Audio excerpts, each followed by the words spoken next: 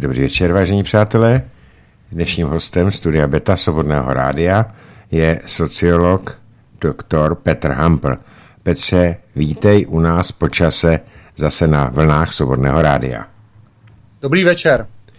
Eh, já bych v první řadě chtěl, protože jsi byl jedním z organizátorů toho skvělého setkání na zámku Příčovech, tak bych chtěl, eh, měl si s tím hrozně práce, eh, společně s paní majitelkou zámečku, tak bych chtěl, jestli by si mohl zhodnotit tvýma očima jako organizátora tuto akci, protože já jsem ji už hodnotil několikrát jako skvělé setkání vlastenců, Eh, napříč různými směry vlasteneckými, kde se sjednotili v podstatě a velmi významné osobnosti a táhli za jeden pro vás.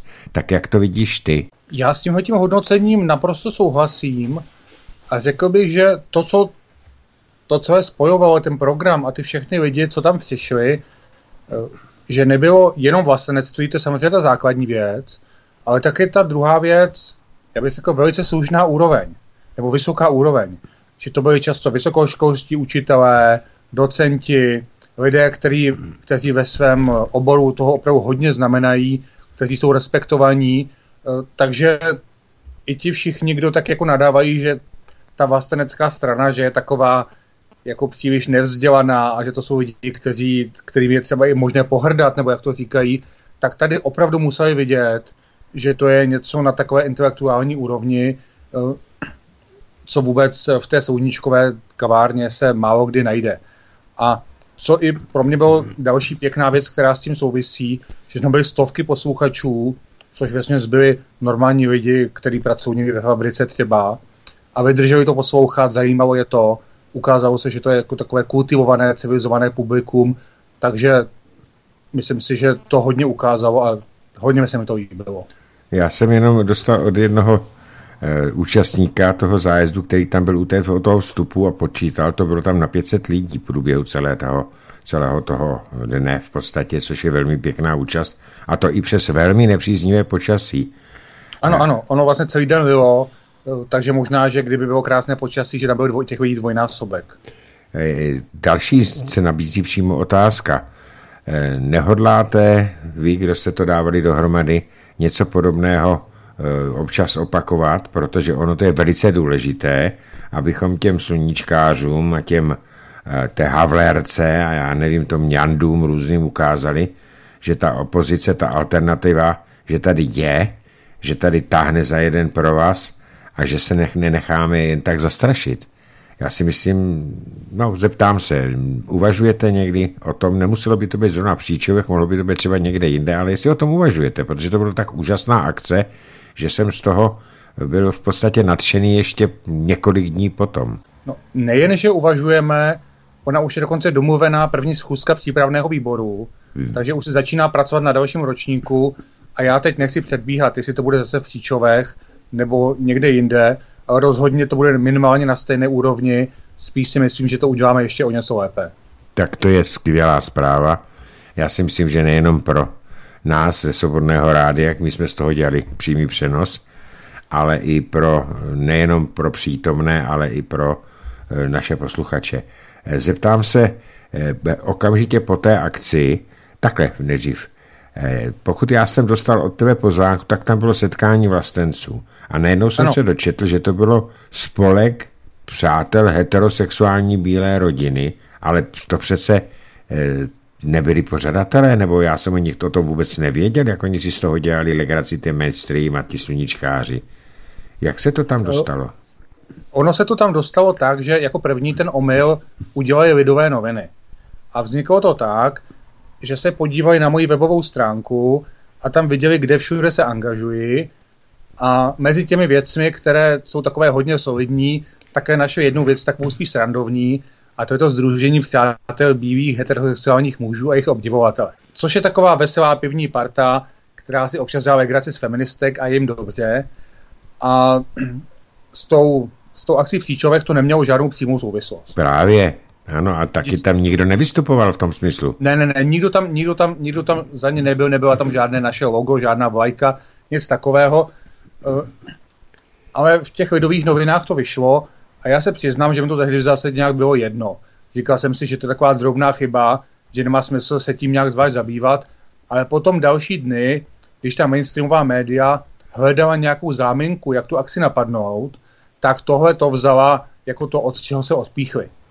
Ale na druhou stranu, já si říkám, co to je, nebo kde to jsme, Teď jako to, že se někteří lidé scházejí nebo jsou hrdí na to, že jsou bílí a heterosexuální, na tom přece není nic špatného, to není žádný kriminální čin, to není nic, za co by se měl někdo stydět.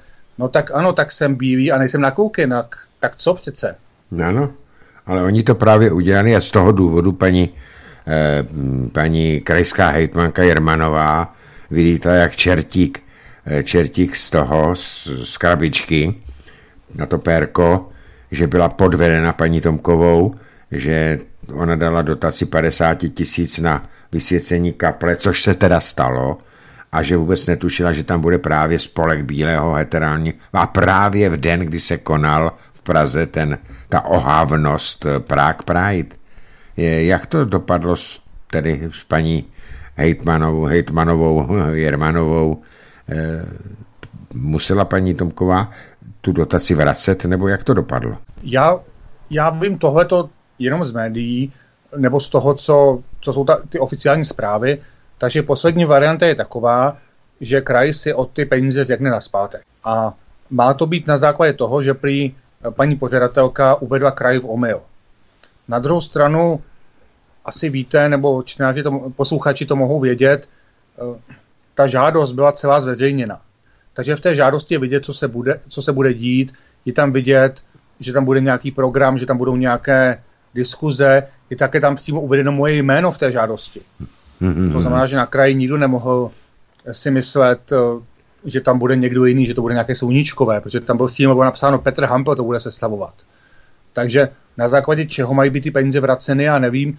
Nicméně kraj říkal, že, eh, že to bude chtít, eh, možná, že už to chce, já tu poslední informaci nemám. Ale když o tom mluvíme, já znovu se vrátím k tomu spolku bílých mužů, protože, jsem, protože si říkám, i kdybychom v tom byli nějak byli, my jsme v tom nebyli zapojeni, ale i kdyby, tak co je na tom špatného?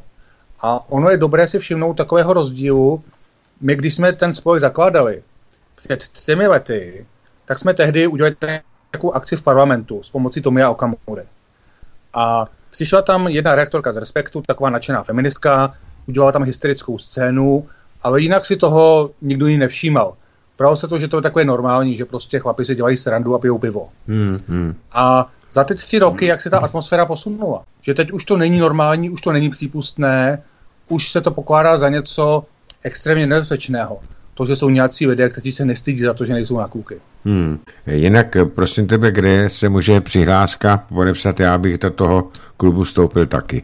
Protože já jsem bílý, jsem na ženský, vždycky jsem byl na ženský a taky v tom vůbec nevidím nic špatného, takže já bych se do toho klubu vašeho velice rád přihlásil.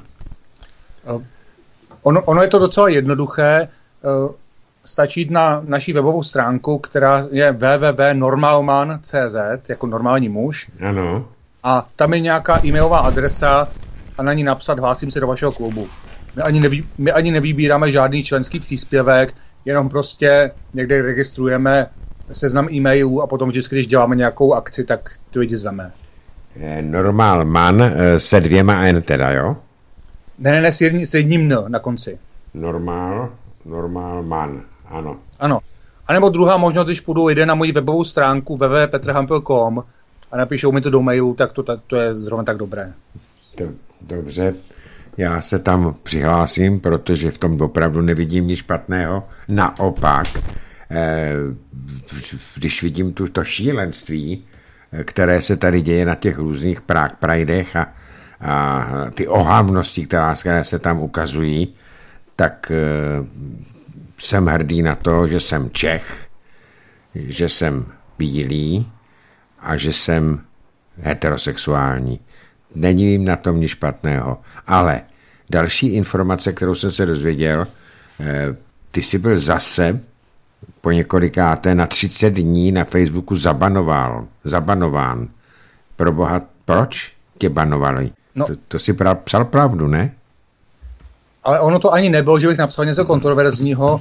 Já se obávám, že Facebook v tuto chvíli funguje tak, nebo ti lidé, kteří udávají, že když vás uh, mají prostě nějak vyhlídnutého mezi ty nežádoucí lidi, tak potom stačí úplně jakákoliv záminka. Takže já dneska jsem dostal 30 dnů za to, že jsem jenom někde prostě zmínil jméno Martin Konvička. Hmm. Takže z Martina Konvičky se možná stává takový český Tommy Robinson, že se nesmí zmiňovat. Ale předtím jsem to dostal, ten minulý zákaz, jenom za nazdílení informace o nějaké neziskové organizaci.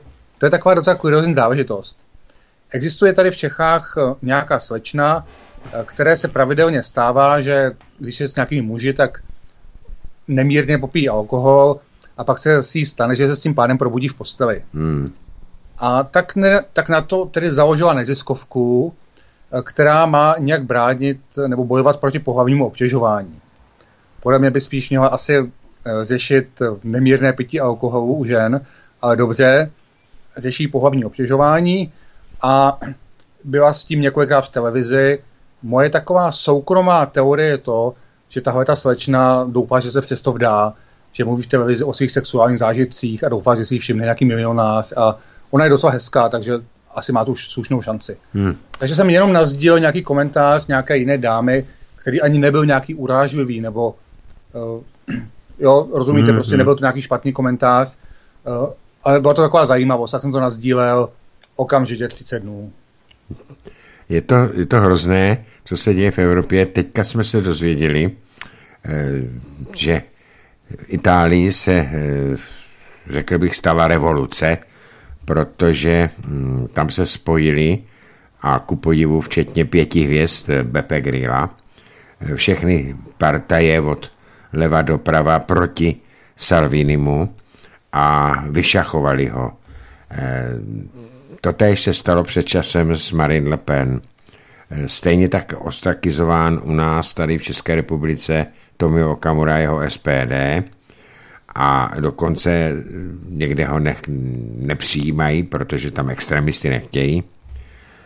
Stejně tak je ostrakizováno, vyhrožováno je celému Maďarsku v čele s Viktorem Orbánem. Petře, jak by si hodnotil ty to, co se děje vůbec v té Evropě, že se takhle tvrdě, nedemokraticky v podstatě sjednotili ti, ti globalisti, kteří mají jeden jediný cíl, a to je islamizace Evropy a zničení Evropy, tak eh, že se tímto způsobem takhle, takhle združili a vytěsňují všechny vlastence. Co to bude znamenat pro další vývoj? Ty jsi zmínil třeba ještě Německo kde je ta situace dost podobná. Eh, takže ano, ono by se i další země takhle zmiňovat.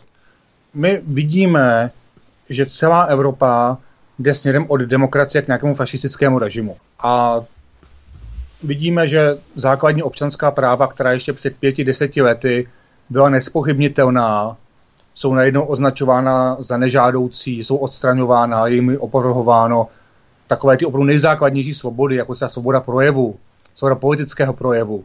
To je ta nejposvátnější svoboda, bez které vůbec není možná demokracie ani žádná jiná práva. Vidíme, jaký ty elity opovrhují. Já se obávám, že v řadě případů to dokonce ani není tak, že by ti lidé cíleně usilovali o nějakou islamizaci. Oni usilují o jedno jediné, vydržet tam v té pozici ještě rok, dva roky, přihrávat si dotace, brát si veliké platy a jim úplně jedno, jakou cenu za to jejich země zaplatí. Je to taková bezohlednost, sobectví, ale to je vlastně typické pro tu sluníčkovou stranu, pro tu kavárnu. Eh, totální nezodpovědnost. A ještě k tomu doplním takový jako můj postřeh, a který si myslím, že je důležitý. Ať ti lidé zastávají jak, v zásadě jakoukoliv ideologii, nebo jsou v jakékoliv straně, tak nakonec, když přijde na lámaní chleba, tak slušní nebo takzvaně slušní profesionální politici se vždycky postaví na stranu slušných profesionálních politiků proti lidem. To je víc rozhodující, než co mají napsáno na nějakém volebním plagátě. No, no, no. Takže i to tak bych rád doporučil posluchačům, když se někde rozhodujete, koho volit, tak se nedívejte jenom na to, co má ten člověk na plagátě nebo jak mluví, ale co to je životně za člověka, čím prošel, kam patří, jestli ho berou ti ostatní politici a tak. Protože jestli ano, tak nikdy nebude na lidové straně. A ono to samé vlastně vidíme ve Spojených státech amerických, kde ti takzvaně solidní republikáni se nakonec spojí s demokraty proti Trumpovi. Na druhou stranu, kam ten svět ale povede? Co mají ti solidní lidé dělat, kromě toho, že mají volit? Já tady nevidím, zatím tady nevidím žádnou jinou stranu, kromě SPD, která by si tak neochvějně šla za vlasteneckými cíly. Jsou tady potom různé malé strany, ale když jsem vemu jenom evropské volby nebo do volby do Evropského parlamentu, tak všichni volali o sjednocování tyto malé strany, ale nakonec se vůbec s nikým nesjednotili a když se to pokoušel pan Hanik z rozumných, tak se mu ostatní strany vysmály, mluvil asi ze pěti nebo šesti těmi stranami. Tak jak potom chtějí ty vlastenecké strany prorazit, když se nedokáží ani domluvit mezi sebou? No, můj názor je, že v tuto chvíli není příliš produktivní, aby se ty maličké strany nějak složitě spojovaly mezi sebou, protože ono, když se sečte 20 nul, pořád je to nula, hmm. ale spíš, aby vstupovali třeba do SPD ti lidé, nebo aby ty celé strany se připojovaly k SPD. A rozhodně bych to doporučil všem. Na druhou stranu musím taky uznat, že SPD je často velmi nevstřícná a že i když jsou někdy ty taková ta velká prohlášení vstupte všichni k nám, že reálně pak se na té místní úrovni není ochota ty lidi přijímat. Eh, je, podle mě to je velká škoda. My si doufám, že teď v tom následujícím období SPD udělá nějaké kroky k tomu, aby byla taková otevřenější, aby se do nich snadno mohli zapojit eh, vlastenci z těch jiných uskupení, protože by mi to dávalo mnohem větší smysl, než teď tady stavět nějaké, nějaké další spojenectví. Um. A jinak souhlasím s tím hodnocením, že v tuto chvíli je SPD jediná strana, která se, ofic- která se veřejně hlásí k těm silným tématům jako vlastenectví, obrana národa, národní stát, imigrace, islám, tyhle ty všechny věci. Paradoxně eh, SPD se hlásí spíš eh, doprava a přitom mají vypracovaný tak skvělý sociální program, eh, že, mu ho, že jim ho mohou závidět levicové strany, teda takzvané levicové strany KSČM a ČSSD, a nehledě na to, že tady se 20 let hovoří o nějakém důchodové reformě, teď jsme se dozvěděli zase, že se uvažuje o tom, že budeme dělat do smrti, že se bude zvyšovat odchod do důchodu. A přitom SPD má vypracován eh, reorganizaci důchodového systému tak dobře, že i docent Valenčík a jeho tým, které, který na tom pracoval, celý tým vědců, tak uznali, že to je zatím nejlépe propracovaná e, systémová změna e, toho e, důchodového systému.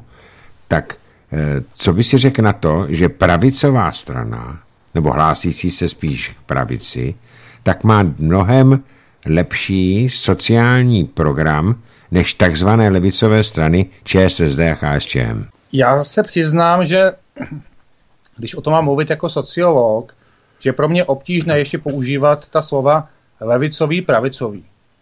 Protože SPD je určitě pravicová strana v tom smyslu, že je pro ní důležitá lidská svoboda. Na druhou stranu třeba SPD nikdy nemělo takovou tu bezohlednost, která je typická pro některé pravicové strany. Takže možná, že někdo by zase označil za stranu levicovou, kdo ví.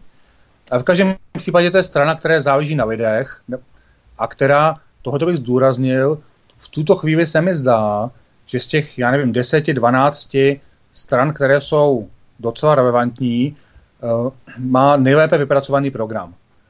Ono je to pořád ve vzduchu, SPD to jsou jenom populisté, ti nevidí, co by chtěli, ale když se na to člověk podívá pořádně, vidí, že tam přesný opak. Že to SPD má jediná nějakou vizi, jak by se měla měnit ekonomika, jak by se mělo měnit školství a pro všechny ostatní věci. Ale počkejme teď třeba ještě na Trikoloru, možná, že taky bude mít nějaký zajímavý program. Ovšem, eh, Trikolora eh, se eh, liší, aspoň názory Václava Klauze mladšího se liší od tezí a směřování SPD, konečně to má i v názvu Svoboda, přímá demokracie. Tak eh, Václav Klaus je proti přímé demokracii. On, je, on nesouhlasí s od, odvoláváním politiků, nesouhlasí s přímou volbou politiků, eh, včetně prezidenta.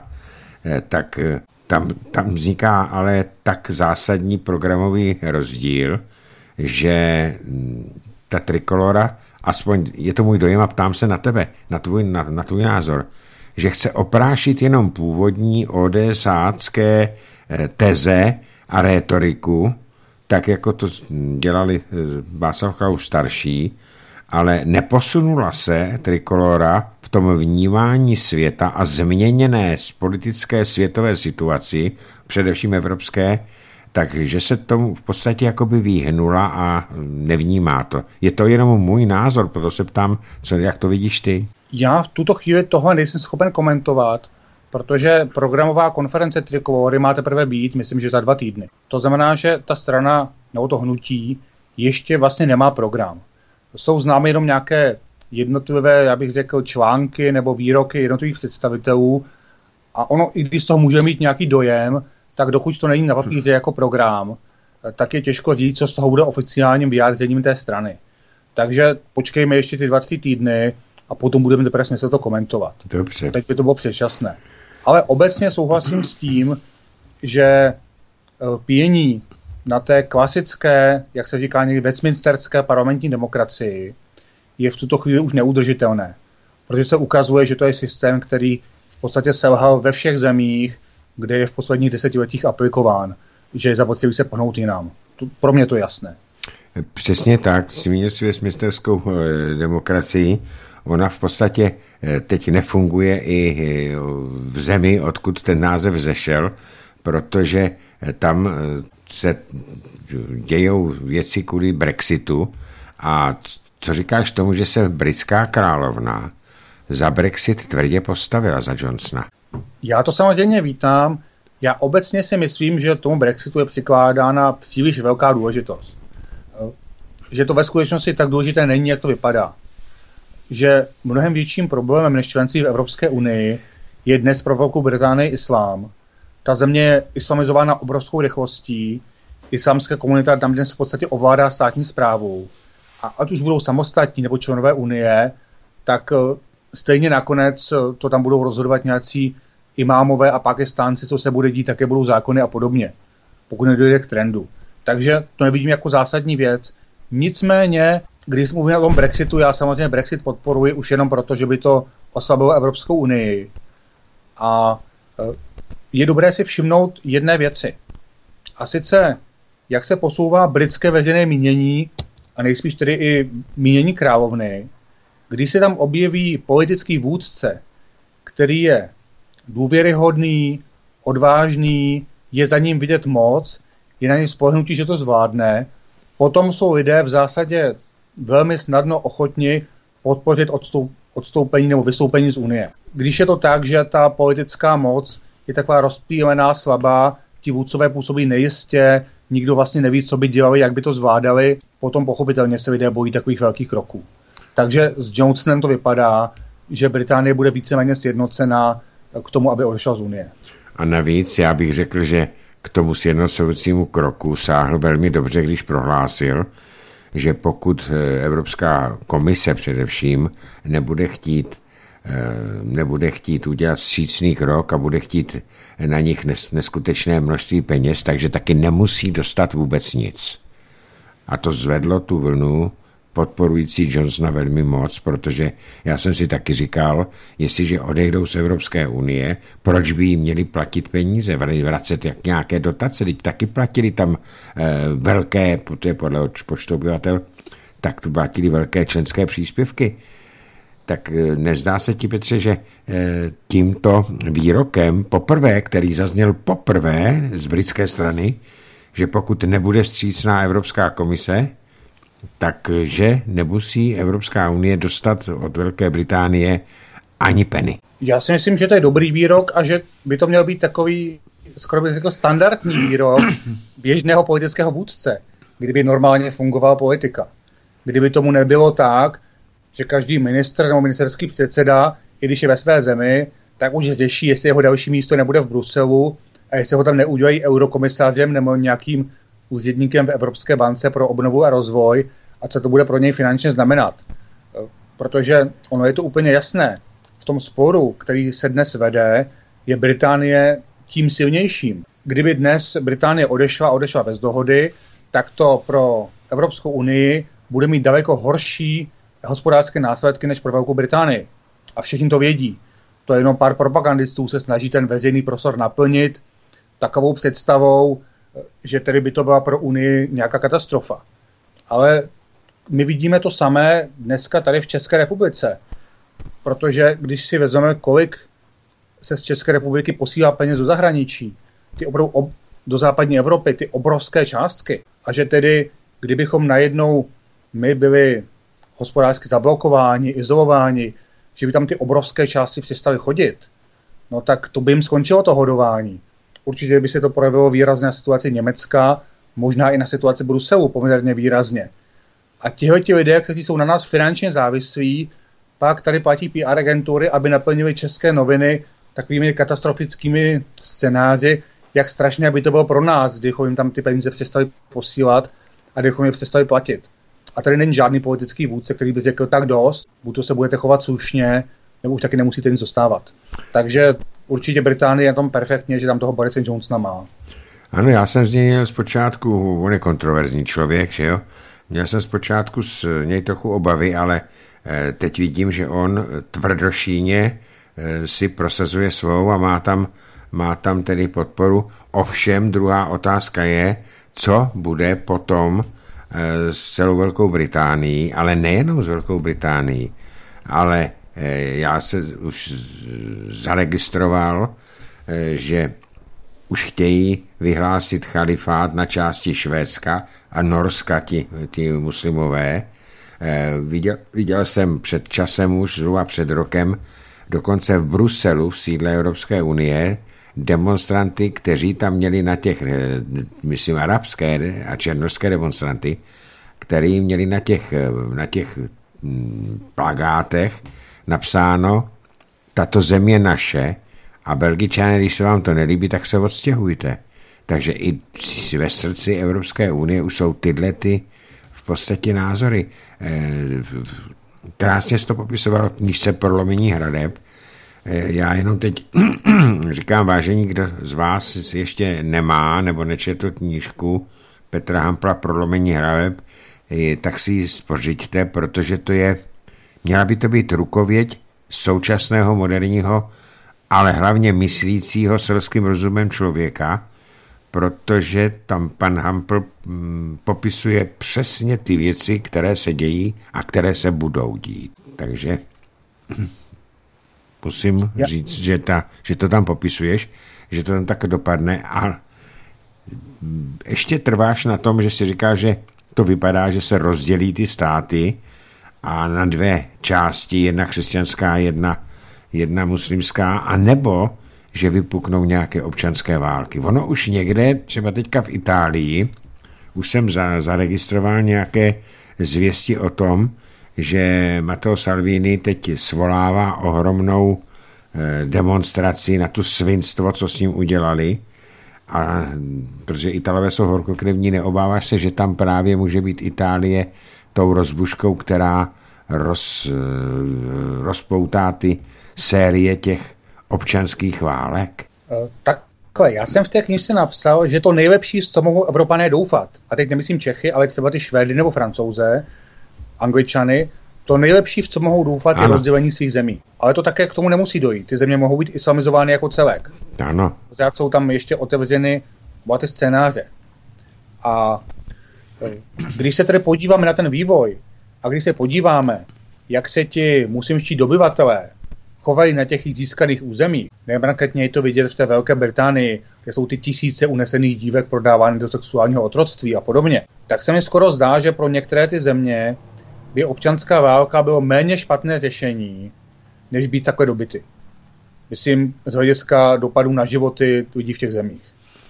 Protože válčit válku je hrozné, ale být, být země, která je drancována, kde jezdíte nájezdníci a mohou cokoliv, to je ještě horší.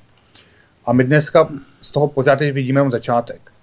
Ty jsi zmínil to Švédsko Švédsko už je dneska v tom stavu, že je tam více než 70 non-go zón, tedy zón, kde švédská policie už není schopna vymáhat švédské právo a platí tam právo nějakého gangu, tedy nějaká verze šarie. Ano. A je tam logická tendence k tomu, aby se tyhle non-go zóny spojovaly, aby to vytvářelo souvislé území eh, a to už vytváří takovou sílu, eh, že v podstatě proti tomu se málo kdo dokáže prosadit eh, a kromě toho tam hrají roli ty demografické trendy. Zrovna v tom Švédsku je to tak, že tam už příští generace bude islámská většina. Takže i kdyby dneska zastavili imigraci, tak prostě jediné, v co mohou doufat, je, že snad možná někdy na severu by se jim podařilo urvat nějaký kus území, který by si nějak uhájili, ale určitě by to nešlo mírovou cestou. Co se týče Itálie, já si myslím, že v Itálii to nesměřuje k občanské válce, ale k nějakému násilí to tam může vést. Na druhou stranu berme to taky tak, že Itálie už je dneska země plná násilí. To neudělal ani Salvini, ani jeho příznivci, ani nikdo z téhle strany. To je práce těch, kdo tam natáhli ty tisíce migrantů, kteří se chovají, jako by to bylo jejich, kteří to berou tak, že mají právo obsadit jakýkoliv dům, přepadnout kohokoliv, šíří strach ve městech i na vesnicích, takže ta země se stala tak násilnou, jako nebyla ještě nikdy, kromě nějakých oblastí zasažených mafií. E, takže je otázka, co se teď stane. Máš pravdu, že mají horké hlavy, na druhou stranu to pořád ještě nestačí k občanské válce. E, občanská válka to už chce nějakou organizaci, s práci se zbraněmi a tyhle ty věci. A já mám za to, že Salvini rozhodně nepůjde tímhle směrem, že Salvini si počká na příští volby a v nich že zvítězí drtivě. No já neříkám, že on bude iniciovat. Já jsem, já jsem se bál, že ta přískra přeskočí, eh, protože eh, v Evropské unii platí zákony o odzbrojování Evropanů a Italové jsou jedni z těch. Já jsem nedávno mluvil eh, s člověkem, který tam žil v Itálii a ten říkal, že na, těch, na ten venkově, že tam ty, ty lovecké pušky, ty venkové mají a nedají si je vzít. Takže tam nějaký jsou. V těch městech samozřejmě už jsou ty Evropani odzbrojení, protože se dělá všechno pro to, aby jsme se odzbrojili. A že tam může ta jiskerka přeskočit. Taky si myslím ale, že tam bude stejně jako všude v celé eurohujerské eh, Evropě tak masivní, ale tak masivní probírka nebo masáž eh, pro evropská, že by Salvini měl možná velmi těžkou práci, aby vyhrál ty volby takovým způsobem, aby ho nemohl nikdo odejít. Protože teď tam křičej ti socialisti, že Salvini má téměř 40% preferencí, ale 60% Italů ho nechce. Takže tam je to velice složité, ale je... uvidíme, jak se to bude vyvíjet. Eh, další... Takhle, jenom k tomuhle tomu, především ono podle italského volebního zákona nebo toho systému, ono, ono je to vlastně podobné jako u nás, nebo i třeba v Maďarsku, ten, kdo dostane 40% hlasů, to už mu stačí, aby získal tolik eh, poslanců v parlamentu, že bude sestavovat vládu. A ono je docela možné, že to ještě poroste. Eh, takže tohle je jedna věc. Já mám za to, že se teď pravděpodobně ty, ty všechny ostatní strany pokusí nějak změnit volební zákon nebo třeba úplně zabránit konání příštích voleb. Ano. Protože, protože musí vědět, že budou drtivě rozdrceny. Ale já... A co se týče, a co se týče té masírky, v tom máš určitě pravdu. Je dokonce i možné, že mezi tím se pan Soros tam koupí nějaké další noviny nebo založí nějaký další kanál. Ale já mám za to, a to se teď ukazuje všude po Evropě i ve Spojených státech, že oni už mají tak drtivou mediální převahu a tak drtivou finanční převahu, že oni už tomu nemají co dodat to jsme viděli tady, když fakticky ovládli seznám, což byl vlastně největší mediální portál, portál v zemi, že to už nemělo dopad na veřejné mínění. Neotočilo se. Protože už předtím měli tak obrovskou převahu, že už tomu nemají co dodat. A kdyby teď tady v Čechách založili nějaké další dvoje, troje noviny a další televizní stanici sluníčkové, no tak tím už nic nepřidají. Oni už mají mhm. všechno. Oni už nemají kam sáhnout dál. A myslím si, že tohle stejně bude v té Itálii. Eh, další otázka směřuje právě na, na tu migraci. Matteo Salvinimu jako ministru vnitra a vicepremiérovi se podařilo eh, zabránit eh, tomu masivnímu přílivu eh, migrantů, které ty neziskovky jezdí vyzvedávat do Libie. Já jsem viděl, jakým způsobem se to dělá, že oni je naloží rovnou na palubu, pak je, pak je přeložejí na ten gumový člun a udělají fotky, televizní záběry a pak je jakoby zachraňují. Je to všechno podvod. A teď ale, pokud bude odstaven až do konce volebního období, pokud jestli vůbec ještě ty volby budou, tak samozřejmě ty socialistické zrůdy tam otevřou zase tu bránu pro migranty z té Líbie a, a z té Afriky a, a arabského polostrova do kořán. A právě to dělalo Salvinimu ty body, preference, že to chtěl zastavit. A proto já se obávám, že při tom přílivu těch migrantů, kteří nastane zákonitě, proto to udělali tohleto, takže dojde k ještě navýšení trestné činnosti a tam by mohla být ta jiskřička. Takže nemyslíš si, že by to mohlo takhle dopadnout? No, já pořád souhlasím s tebou, že tam je určité riziko, ale dle mého názoru to riziko pořád ještě není tak, tak vysoké. Myslím toho, že by to vypuklo v tam občanskou válku. Ohledně té migrace máš 100% pravdu. Ono je to tak, že v tuto chvíli v samotné Líbii čeká 1,5 migrantů, aby se mohli navodit a, pře- a přejít do Itálie. 1,5 milion už tam teď čeká. No. Samozřejmě, jakmile se tahle ta veliká dávka začne defrovat, tak jsou desítky dalších, desítky milionů dalších v různých afrických zemích, které se vydají na pochod. To znamená, to, co nás pravděpodobně bude příští rok čekat, bude opakování roku 2015. Eh, těch obrovských mas a těch obrovských průvodů, které jdou a jdou. Evropská unie už, myslím, vedení Evropské unie už jasně řeklo, že přijme každého bez jakékoliv omezení, eh, že nebude nijak tu migraci zpomalovat. Eh, takže tohle, to, takže tohle to můžeme čekat. Což samozřejmě pro všechny ty špatné věci, které jsou v Evropě, to bude ještě horší. Souhlasím i s tím, že to pak může vést k tomu, že lidé budou jednat zkratkovitě, že vzniknou nějaké místní vzpoury nebo nějaké místní revolty, ale já mám za to, že aby ty různé místní vzpoury nebo šarvátky vyústily v občanskou válku, ve skutečnou občanskou válku, tak je také zapotřebí, aby ta opozice měla nějaké jednotné vedení, měla někoho, kde bude inspirovat a podobně. A čekám, že Salvini nejen, že tuhle roli nebude hrát, ale on se bude snažit ty lidi umírnit, uklidnit je, vyzývat je, aby se nenechali strhnout. Takže i když to někdy může místně propuknout, doufám, že z toho nebude celoitalská občanská válka. Takže... Protože pořád se mi zdá, že tam je ta lepší cesta a to je drtivé Salviniho vítězství v příštích volbách. Takže abychom srovnali Salvino s Garibaldím, asi nehrozí. Možná, že za pár let na to bude situace zralá, ale v tuto chvíli si myslím, že pořád je ještě velmi slušná šance, aby to proběhlo nenásilně. Další věc, která tady hýbe světem, to je to šílenství, mega šílenství, klimatologické šílenství e, s tou Grétou. Jak ty se, já jsem byl osočen jednou paní doktorkou, že, že bych si měl přečíst nějaké knížky o tom, jak, jak ty chudáci e, s tím ADHD syndromem a, a, a tím dalším, ty autistické děti, jak jsou chudáci. A e, já mám to v rodině takže já to vím.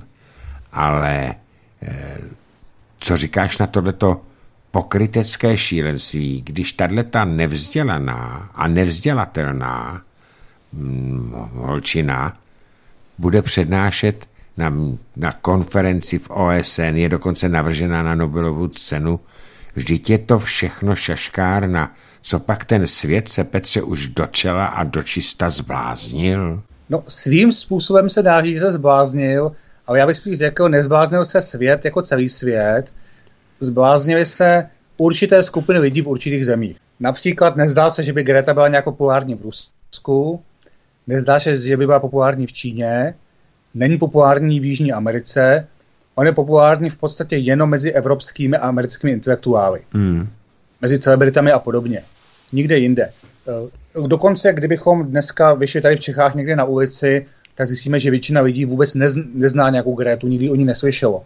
Přestože eh, ta média to do nich spou horem dolem. Ale tady připomenu jeden nedávný post těch Martina Konvičky a podobně výborný, že v těchto těch vrstvách se soutěží o to, kdo bude věrnější a lojálnější a kdo bude oddanější tomu, co se po nich chce. Takže čím větší stupidnost těm lidem ukážou, tím větší hloupost, tak všichni soutěží o to, kdo v tu největší hloupost uvěří. Mm-hmm. Takže teď tedy dali největší hloupost, že našli nějakou v podstatě mentálně postiženou pubertačku, která má být jako úplné zjevení a která má nahradit celou světovou vědu. A ti lidé opravdu ukážou, že jsou tak věrní a tak oddaní eh, tomu, co se po nich chce, že tomuhle tomu budou věřit.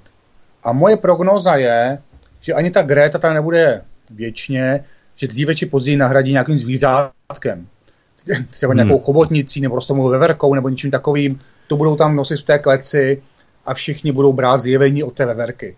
A budou se tvářit úplně stejně nábožně, jako teď se tváří na tu Gretu. Já a to se... neříkám jako na sázku. Opravdu si myslím, že se to stane. Dane, já jsem, eh, určitě jste viděl taky záběry z Evropského parlamentu, jak, eh, nebo kde to byla, vystupovala někde a byli tam ty, ty, eh, politici a oni standing ovation stali a tleskali holce, která vidí, jak molekuly CO2 plynou do, do nahoru, do statosféry. No, co si o tom myslet? To je, ty jsi to popisoval v té knižce dobře.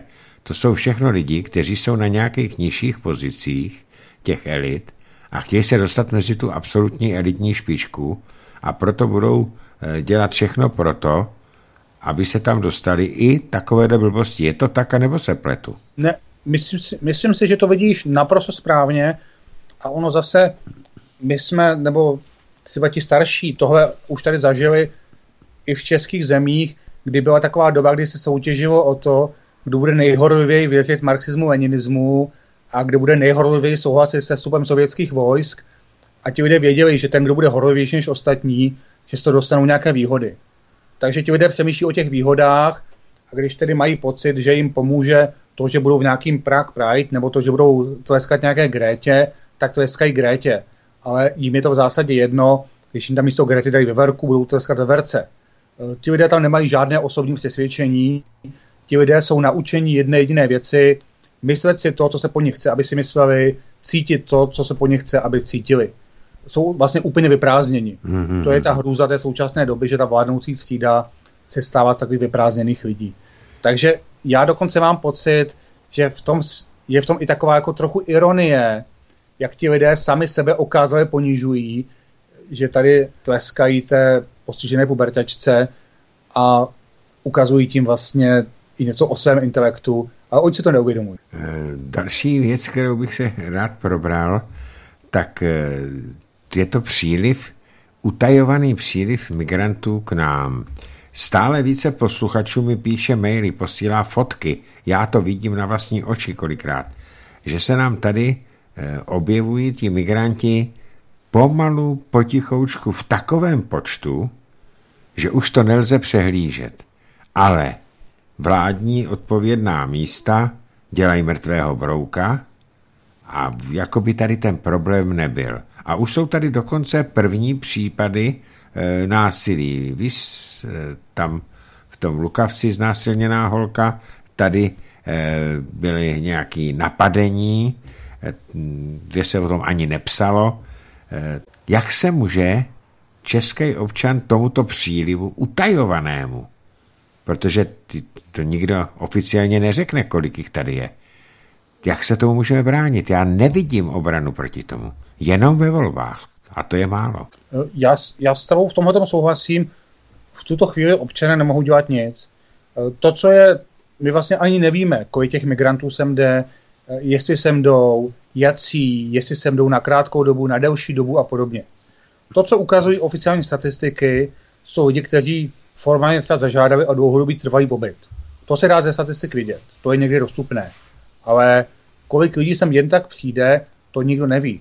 A já se obávám, že to dokonce neví ani česká policie, že to dokonce neví ani tajná služba, která už se dávno nezabývá tím, že by chránila bezpečnost státu, ale řeší jenom, jak eh, dělat správné public relations nebo učebnice dějepisu nebo já nevím co. A šmírovat a, lidi a jak šmírovat lidi, kteří si stěžují a tohle to úplně nechává být.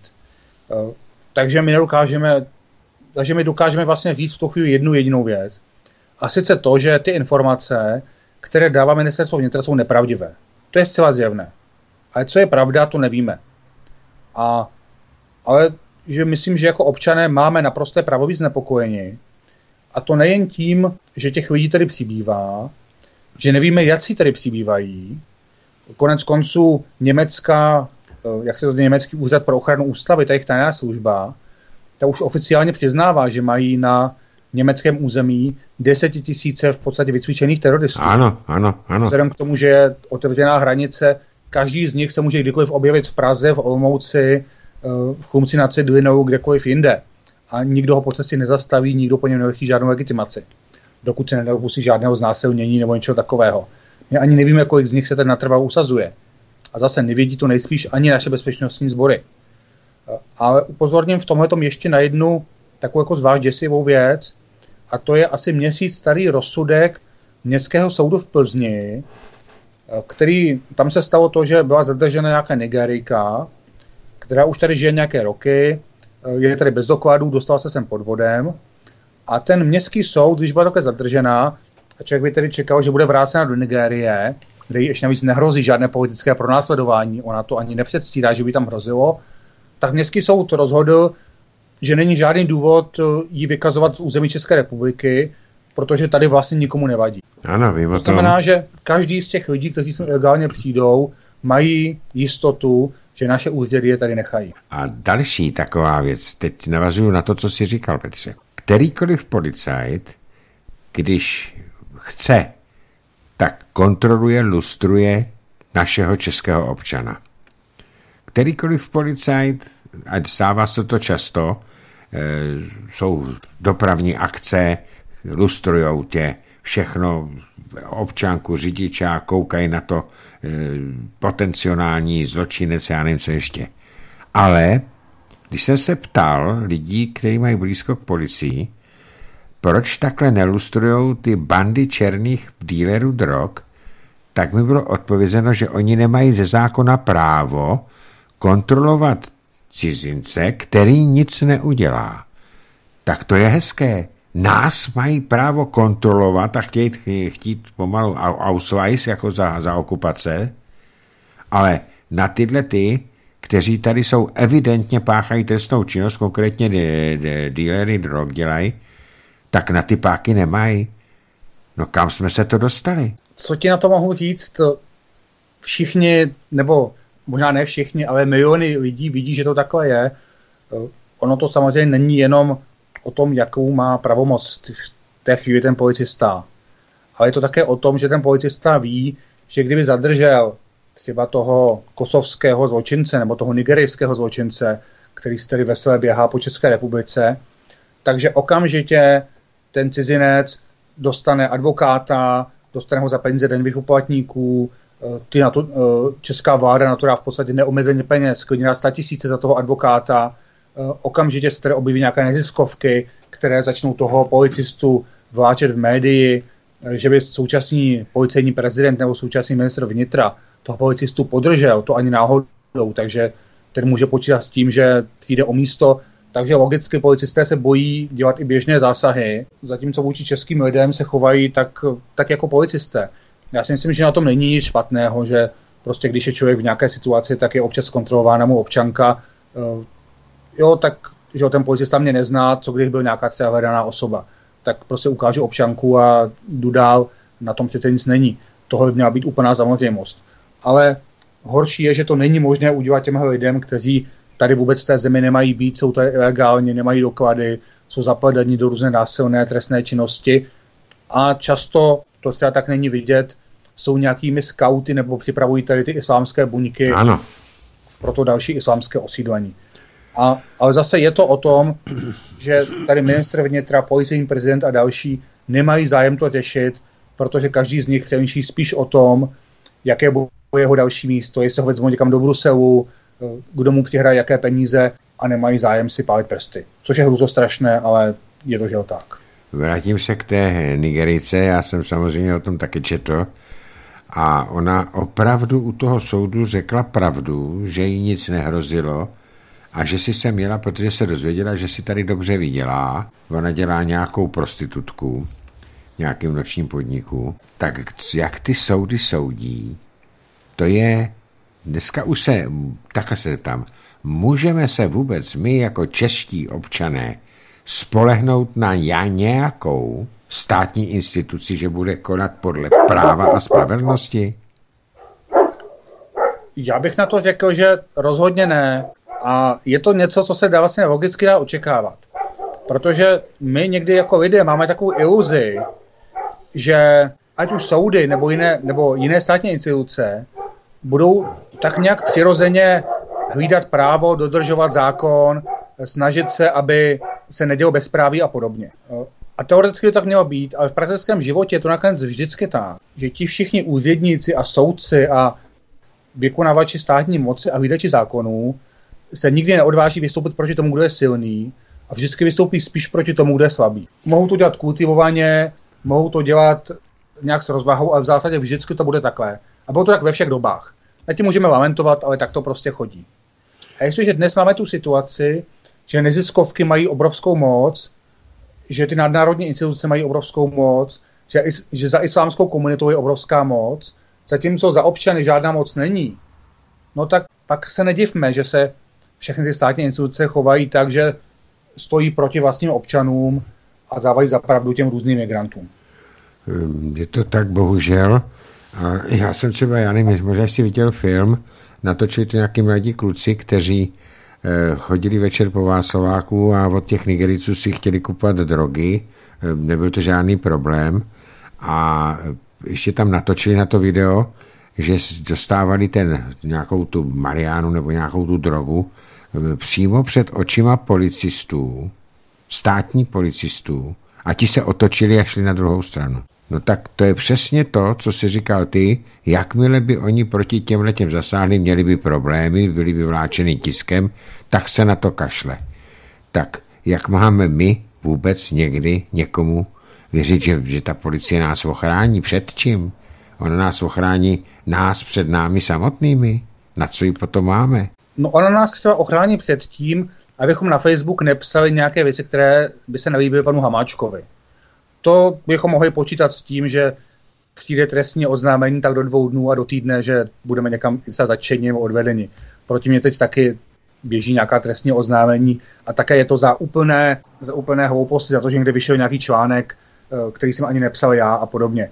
Eh, ale a, a, a v tom ta policie je aktivní, ale musím říct, že tady nejde o to, že aktivní policie je aktivní eh, nejvyšší státní zastupitelství. Ale znova to, my se toho vlastně dotýkáme celou dobu, co tady spolu o tom mluvíme. Všechny ty změny pozitivní, které potřebujeme, jsou podmíněny tím, že dojde k nějaké radikálně politické změně. Ano.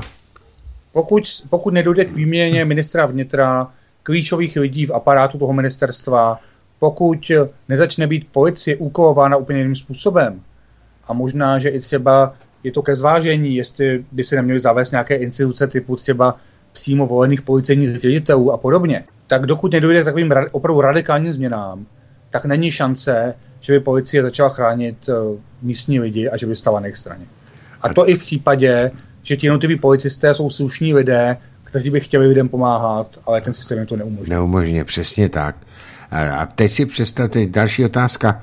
Eh, jak si vysvětluješ, že na letnou ti evidentní podvodníci, sluníčkáři, placení Sorešem a plnících jeho úkoly, dokázali nahnat 250 tisíc lidí, aspoň podle jejich slov. Já jsem si říkal tehdy, přece nemůže být v naší zemi 250 tisíc idiotů. A nebo věří tomu, co tam ten minář a spol říkali, ta naše proradná umělecká fronta? Která si tam vystupuje jenom proto, aby se jí nes, ne, neza, nezatrhly penězovody? No, já si nemyslím zdaleka, že všichni lidé, kteří tam byli, tomu opravdu věřili, co se tam na tom podílu říkalo. Dokonce si myslím, že mnoho z těch lidí vůbec ani třeba neposlouchalo, co se tam říká a bylo jim to v zásadě jedno. Ale to, co se tady podařilo, je vytvořit atmosféru, že je tak nějak módní a být in, být na té letné. A že je tak jako nějak, jako že každý člověk na úrovni by měl k tomu hnutí patřit a ti lidé vlastně ani nevědí, co chtějí, nevědí, proč tam jsou. Já jsem zkoušel s pár mluvit a ptát se, jaké jsou jejich požadavky. Oni to nevědí, oni nemají žádné požadavky. Ale všichni jejich kamarádi jsou na letné a v televizi říkali, že je dobré být na letné, tak tam jdou taky.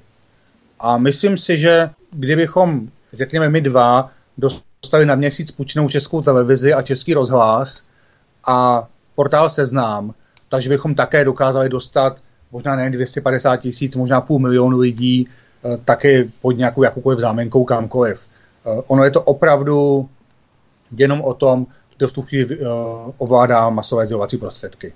Bohužel je to pravda, kdo to ovládá, víme. A ty občané, kteří s tím nesouhlasí, tak mají jedinou možnost obrany. A já se ptám, jestli to je opravdu tak, nebo jestli ještě něco existuje jiného.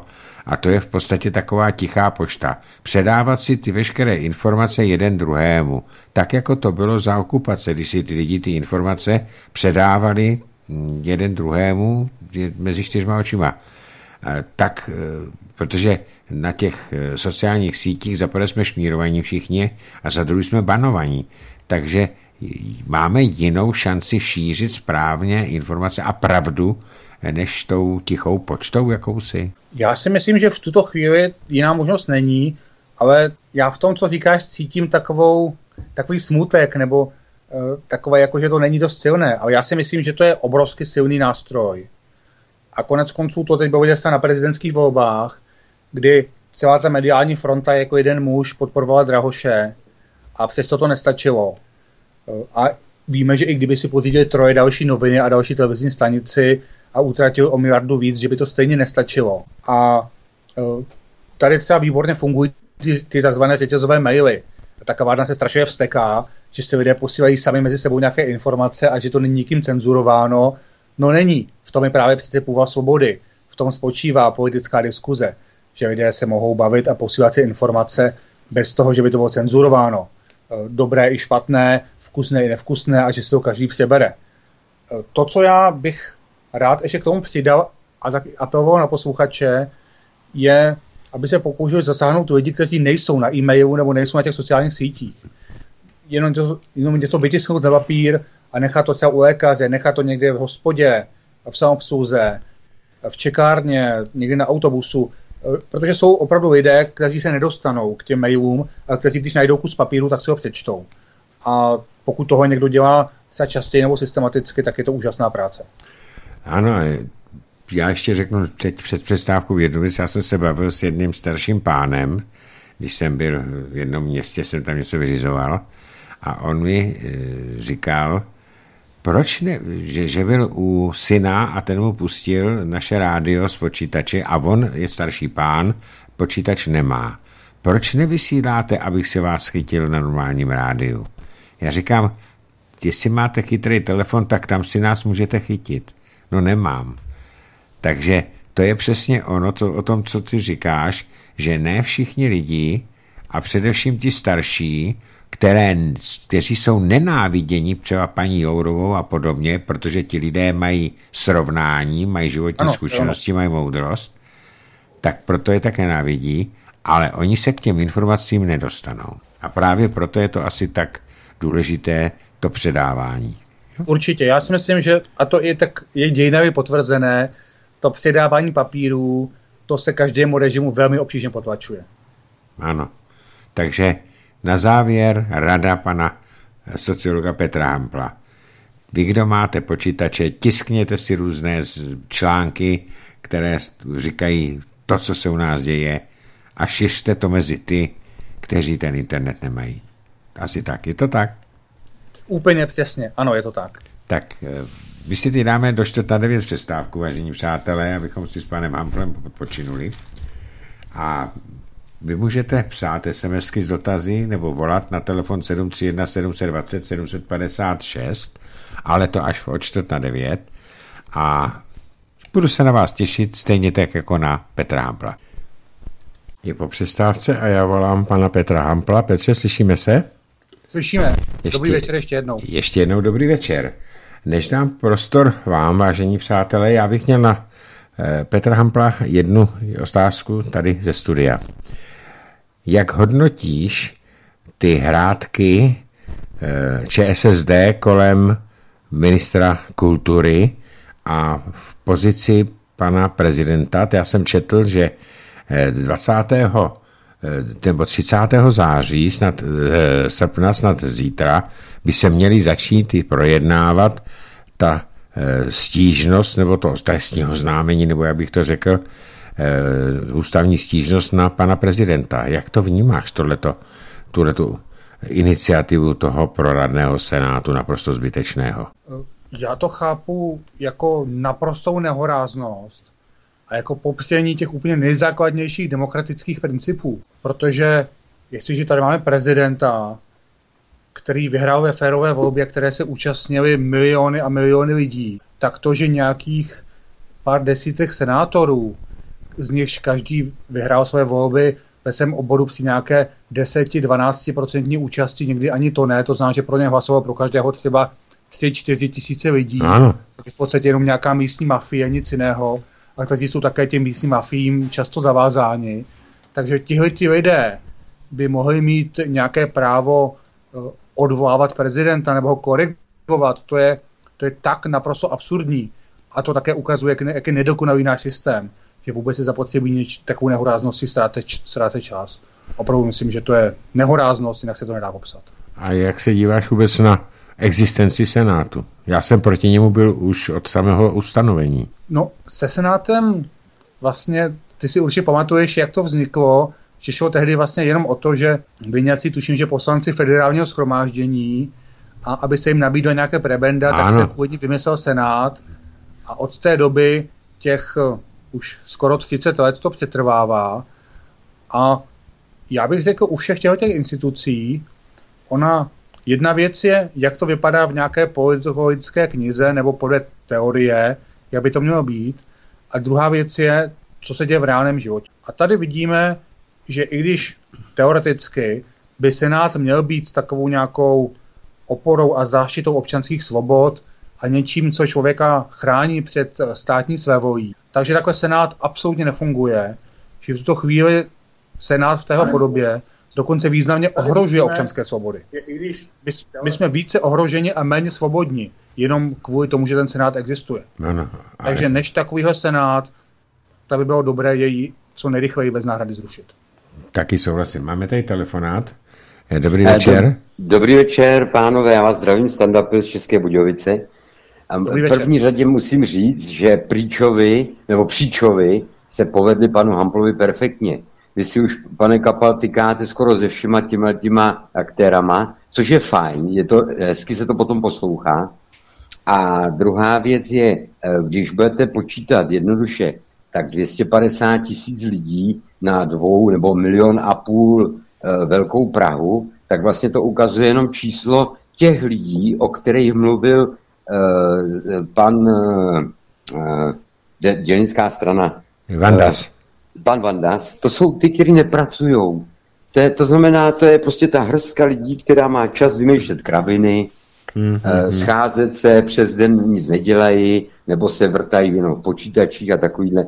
Takže to není žádná síla, která by měla jakoby uh, nás nějak ty... Protože když potom přijde k volbám, tak k volbám jdou ty lidi, co pracují, protože ten čas si udělají a zvolí úplně jako jiného, než oni by si přáli a jsou přesvědčení o tom, že to vyhraje. A pak se jenom diví neustále. Takže to je takový můj názor a potom uh, chci vás jenom pozdravit a popřát pěkný dny. Děkujeme. Děkujeme. Hezky. Tak je... Já poslouchat. Ano. Děkuji, naschle. Naschle. Jinak, eh, pane Hepilci, k tomu tykání Eh, když jsme přátelé, tak je přece normální si tykat. Takže ano, mám mezi těmi skvělými lidmi naprostou většinu a ze všema si tykám, eh, kromě eh, pana senátora Jaroslava Doubravy, tak se všemi. Tak teď se dám první otázku, co nám tady poslali SMS-kou. Pánové, ještě Tady první dotaz. Moc vás zdravím. Dnes jsem opět viděl Arabáše. Páry s dětma na Palackého náměstí a u Karlovy univerzity dvě ženský s šátkama a dva chlapy. Do Paládia už ani nechodím. Neví pan Hampl, kde se to tu bere a co je to zač? Migranti bývají spíše jen mladí muži. Co je toto? Vídám je stále častěji. Moc zdraví Petr z Prahy. A ještě jeden dotaz. Jak podle pana Hampla dopadne Rakousko a Německo. To je prý údajně relativně čisté ke zlosti štasy udavačky, kaháne, kámošky, Angely. Eh, díky Petr z Prahy. Tak, teď je to několik otázek. Začím... Já se pokusím začít od té kolonizace, protože to není nic jiného než kolonizace ano, naší země. Ano. Co tady probíhá. A my jsme se už toho dotkli v první části toho povídání. Ty si to sám řekl, v tuto chvíli nikdo nezná ty statistické údaje, eh, nikdo neví, kolik těch lidí se tady usazuje a na jak dlouho. Nicméně podle zprávy, kterou oni zveřejnilo Národní centrum pro boj proti organizovanému zločinu, tady působí firmy, které se zabývají vyloženě tím, že zde usazují muslimy z ciziny, schánějí pro ně různá povolení k pobytu, eh, schánějí pro ně peníze. A to nejsou jenom jednotliví mladí muži, to jsou často i celé rodiny. Eh, prostě opravdu kolonisté, kteří jsou usazováni na různých místech a eh, jejich vlastně jediným úkolem je tady žít a vytvořit tady nějakou komunitu, kolem které pak má vzniknout jednou ta velká muslimská komunita. Ať už arabská, nebo afgánská, nebo třeba somálská, to je jedno. Ono kdo žije v Praze, tak si mohl všimnout takového rozdílu v trendech. Před nějakými dvěma, třema lety hodně z těch eh, zašátkovaných třeba žen, které jsme potkávali v obchodních centrech, vypadaly tak, že to mohly být eh, turistky. Eh, dneska už je úplně jasné, že to jsou tady místní, podle toho, jak jsou tak jako nepříliš formálně oblečeny, mají sebou kočárky, tři, čtyři děti, takže jasné, že tady někde žijí.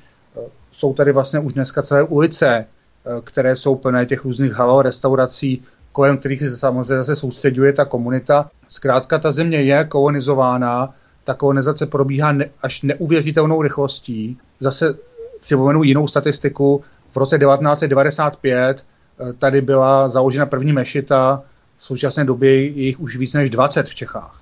Takže ono to opravdu roste na všech stranách. Eh, ve školách už je běžné, že tam jsou ty zažádkované dívky, které nechodí na tělocvik a podobně. Takže to je to, co tady vidíme. A jak se sem dostávají, některé jsou usazovány, nebo někteří ti lidé jsou tady usazováni přes povolení k pobytu nebo k dlouhodobému trvalému pobytu. To je jedna cesta. Druhá cesta je to, že mají ža- zažádáno o azyl a ona, že u nás existuje taková vyloženě ničimná instituce, jinak se to nedá nazvat, že když se ukáže, že ten žadatel o azyl nemá na azyl právo, tak ty neziskovky mu zařídí takzvanou doplňkovou ochranu.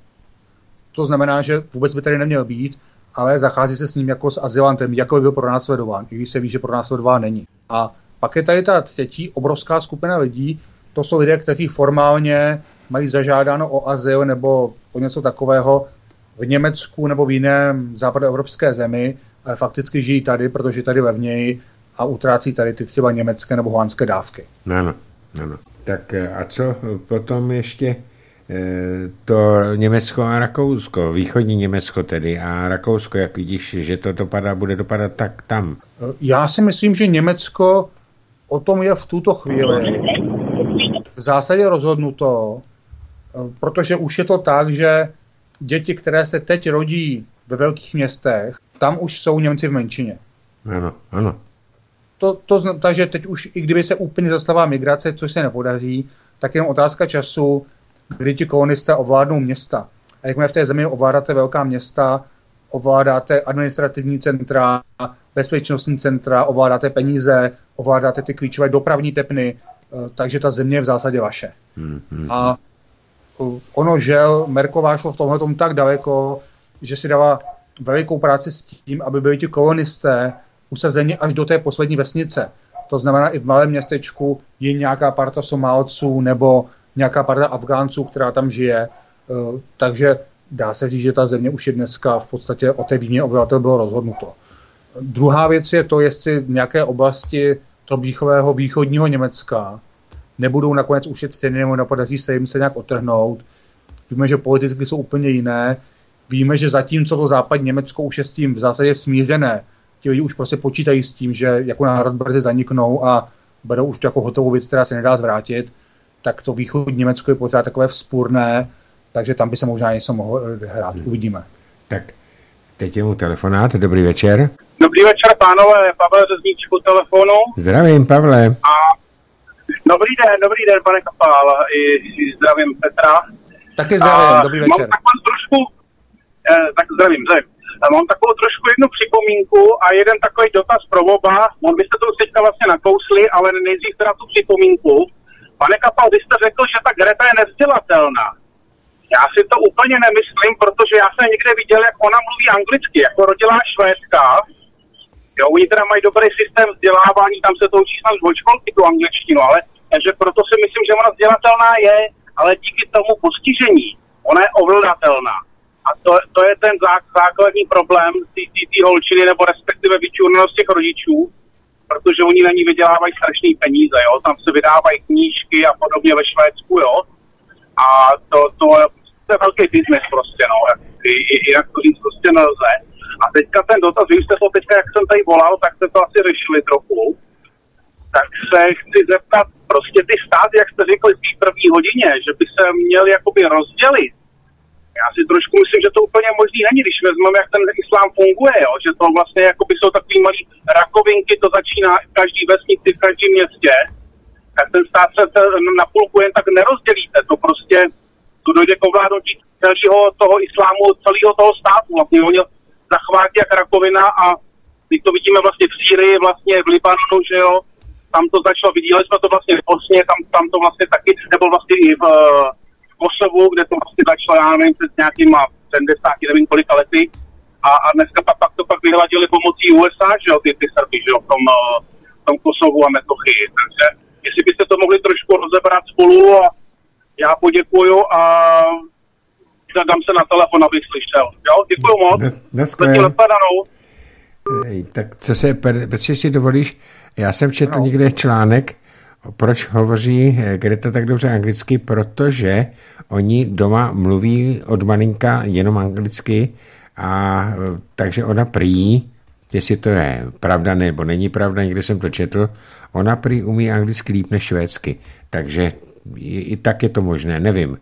A co se týče eh, Petře, toho rozdělování státu, jak Petr Pavel Řezniček hovořil, tak eh, co by si k tomu řekl? Jak, to by se muselo dělat administrativně jedině. No, takhle. Já, já jenom připomenu, já jsem vlastně v té, jak se zmiňoval už tu knihu Provolení hradeb, já tam se tomu věnou v poslední kapitole. Ano. A uh, mám za to, že uh, není to samozřejmost, nebo není to jisté, že se podaří ty státy rozdělit. Možná, že ne, možná, že budou plně islamizovány, tak jak to tady kolega naznačuje, a také možná, že některé budou plně islamizovány, některé se podaří rozdělit. To je eh, jeden bod. A druhý bod, myslím si, že je nereálné rozdělit ty státy bez toho, že by předtím došlo k nějaké občanské válce nebo mírnému konfliktu. Protože z dějiny nemáme žádný takový příklad, eh, že by se státy takhle kultivovaně rozdělily, bez toho, že by tam byla nějaká vyšší moc, eh, nějaký významný vládce, který to zorganizuje. A teď tady žádný takový vládce není. To znamená, že ta moje představa scénáře je spíše taková, že tam začne docházet k šarvátkám, z některé oblasti budou, budou vyhnáni ti, z jiné oblasti budou vyhnáni ti a tak postupně se to tak ustáví, že určitá oblast bude čistě islámská a v určité oblasti muslimové nebudou. Ano, že se to tam jako vytříbí.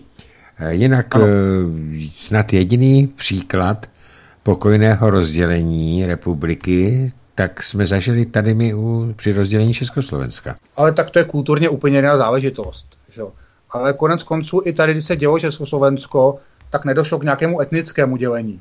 Jo, někteří Slováci dál zůstali žít v Čechách, ano. někteří Češi zůstali žít na Slovensku. Tak, mám tady další dotaz. Dobrý večer, pánové. Eh, vlastenecké strany by měly hlavně vybrat svého budoucího kandidáta na prezidenta, kterého budou jednotně propagovat před svými příznivci a také širší veřejností. Prosím, využijte relativně příznivého klima mezi vlasteneckými stranami i intelektuály a vyberte vhodného kandidáta. Čas hraje proti nám. Díky, Michal. Tak Petře, prosím. Tak, my jsme tomu prezidentskému kandidátovi tady minule vlastně věnovali možná hodinu. Ano. Kdy jsme probírali různé možnosti. Já k tomu jenom řeknu, že pokud vím, tak eh, ti někteří lidé, kteří usilují o to být takovými kandidáty, už teď vedou nějaká jednání a snaží se zajistit si podporu těch různých vlasteneckých skupin. Takže ono to, že se o tom nepíše v médiích, neznamená, že ta setkání neprobíhají. A pak si myslím, že je tam ještě jedna věc. Myslím si, že svým způsobem, i když souhlasím s tím, že by měl být jeden silný kandidát, tak přesto si myslím, že by bylo docela užitečné, aby tam proběhlo takové nějaké měření sil, něco jako mají v Americe ty primárky, aby se opravdu ukázalo, kdo se kandidátů je nejen schopný ve smyslu být dobrý prezident, ale i schopný vést kampaň, eh, vystupovat v televizi a podobně. Eh, takže bych se nebál toho, že budou proti sobě stát tři, čtyři kandidáti, pokud bude mezi nimi jasná domluva, že ten, kdo se ukáže nejsilnější, že pak ti ostatní udělají místo. Já jenom dodám na ten dotaz, že samozřejmě tohoto klima je využíváno a už se začínají vytvářet podpůrné skupinky opravdu chytrých, vzdělaných lidí, eh, o kterých se zatím nikde nemluví. Ale eh, samozřejmě, že se eh, už musíme připravovat na to, že bude končit prezident Miloš Zeman, protože má druhé volební období. Tak vemu další telefon. Dobrý večer. Hello? No, dobrý večer, pane Kapale, tady je Jarek z Brna. Zdravím. Opravdu vás i pana, i pana Hampla. Mám takový dotaz. Četl jsem, co prohlásil pan Hučín na adresu pana prezidenta, na to hnádo uličko a tak dále, když, když se vyjadřoval k tomu, k tomu, k té letné. No, a tak jsem teda zvědav, za první, jak to vidíte z hlediska práva, nebo respektive pan Hampel, protože když se tady zavírá za to, že se tady namalují tykadla a jde se do toho a tady nějaký, nějaký bonzák prostě vyzývá veřejně k tomu, aby došlo do rozvratu republiky, takže to je teda vrchol. Jo? Jinak vám přeju všem domů všenej a díky, díky za to, za poslech. Naschle. Naschledanou. Tak Petře, prosím. Tak, já k tomu se můžu říct to, já jsem obecně pro svobodu projevu. A jsem i pro takovou hodně širokou svobodu projevu, i pro svobodu krajních projevů, i těch věcí, které mi třeba připadají zprosté, hrubé, dramaticky s nimi nesouhlasím a podobně. Takže já bych tady asi panu Hučinovi eh, tu, tu svobodu nechal. Souhlasím s tím, že to, co, že ta jeho vyjádření jsou naprosto nechutná. A myslím si, že jeden ze způsobů, jak na to mohou civilizovaní lidé reagovat, je úplně to ignorovat. Už to, že tady mu věnujeme nějaký čas, je možná špatně. Prostě myslím si, že ten člověk je na to jak mentálně méně cený, že, jak, že prostě nemá tu společenskou nebezpečnost a že bychom si ho vůbec nemuseli všímat. Naprostý souhlas, protože ono se jasně tvrdí, teda z pozice mainstreamu, že kdo není, kdo není v médiích, jako by nežil. Takže čím více budeme věnovat těmhle těm lidem, tak eh, tím víc jim budeme dělat eh, reklamu a to není, to není dobré. Jsou to mezi, ja. jsou to hlupáci ti lidé, opravdu někteří jsou hm, hlupáci a ani si možná neuvědomují dosah toho, co říkají. Souhlas. A já v tomhle tom bych zvlášť vypíchl toho pana Novotného, co je teď starosta ve Řeporijích, no. což je taky taková tragická existence, a který vlastně si udělal tu celou sluníčkovou kariéru jenom na tom, že urážel lidi a ty lidi místo toho, aby ho ignorovali, tak se o něm začalo mluvit a vznikla mu tím ta sláva, tak nedělejme to dalším lidem. Přesně tak.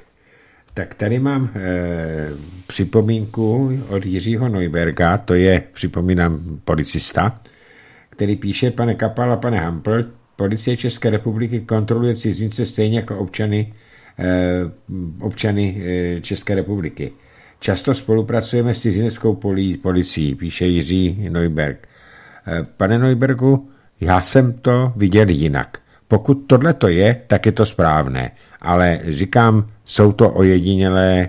Eh, já jsem, co jsem viděl, tak oni se radši otočili a šli pryč. A já bych k tomu jenom dodal, že věřím tomu, že policisté dělají, co mohou, že jim to právo umožňuje, ale přesto je to tak, že za těmi cizinci často stojí ty neziskovky. Je to tak. Mají možnost si stěžovat na diskriminaci. A připomenu případ, který se stal, ty si na to možná vzpomeneš.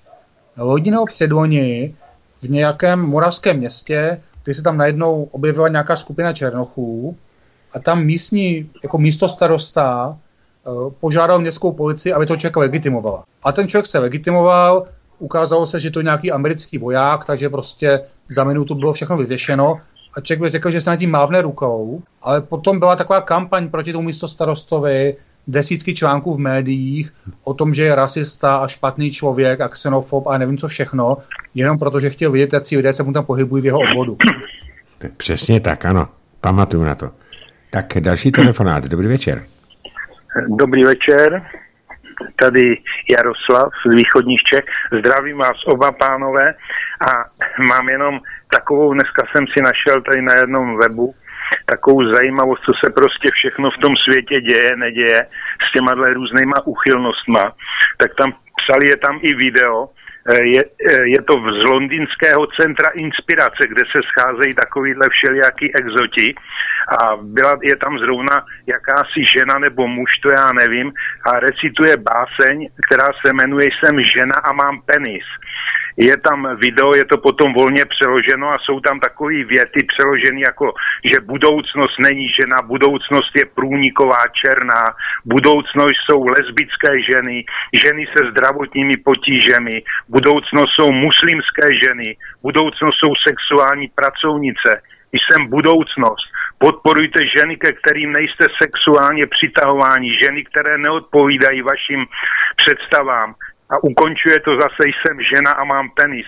Takže takovýhle, takovýhle exoti se tam prostě scházejí a z, z, eh, ohromný potlesky eh, těch, který, který na ně chodějí, to tam je všechno na tom videu zaznamenaný. A ještě tam píšou, že už se dneska na, mm, jako na základě těchto těch lidí vymýšlí takzvané oblečení genderově neutrální forma, spíše kalhoty, něco mezi kalhotem a sukní, aby, aby potěšila, neurážela transexuální studenty a lidi. Takže jenom to je takové prostě, co, co se dneska v tom světě děje za šílenosti a kam se to asi řítí, tak to víme. Takže to jsem řekl a budu poslouchat. Mějte se pěkně a dobrou noc. Dobrou noc.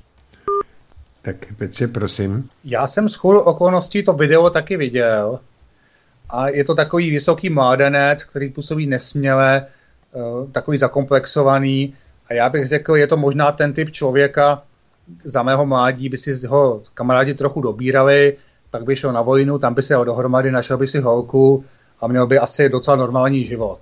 A to, že byl v dětství nesmělý nebo v mládí nějaký třeba trochu vyšnutý, to už by se ani nepřipomínalo.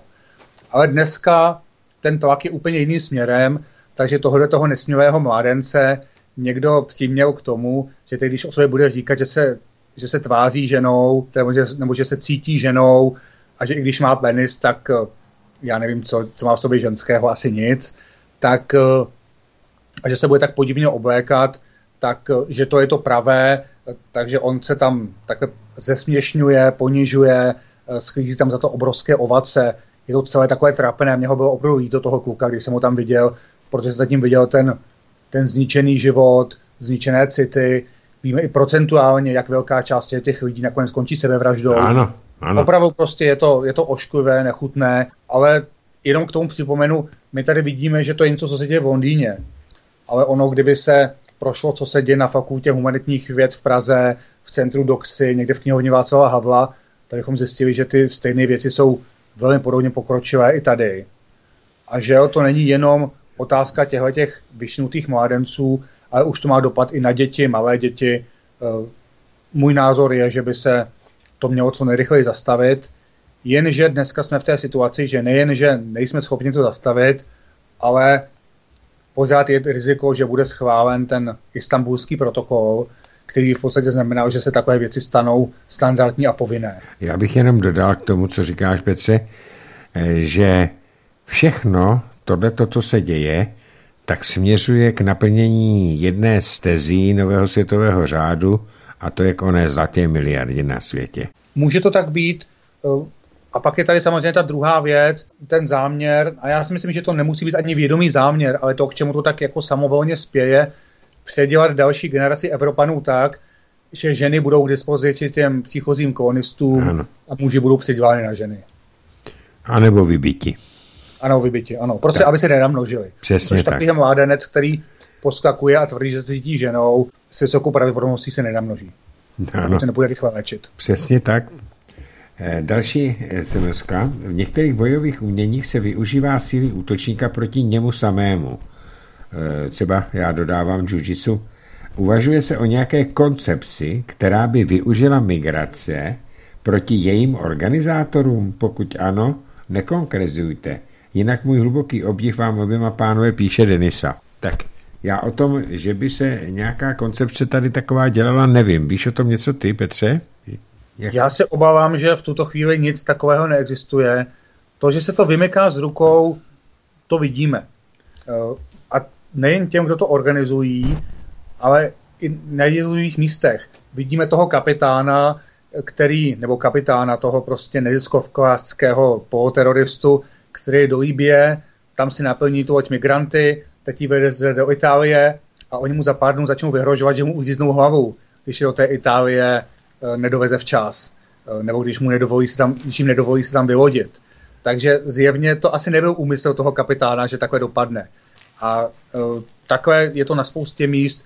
Vidíme, jak mnoho těch dívek, které se snaží sloužit migrantům, jak jsou pak mláceny, znásilňovány. Je to, jako, I jim se to vymyká z rukou, uh, ale konec konců vymyká se to z rukou i takovým těm, těm větším vládcům, kteří tady nainvestovali peníze do těch neziskovek a ty neziskovky se radikalizují úplně vlastně už bez jejich vůle.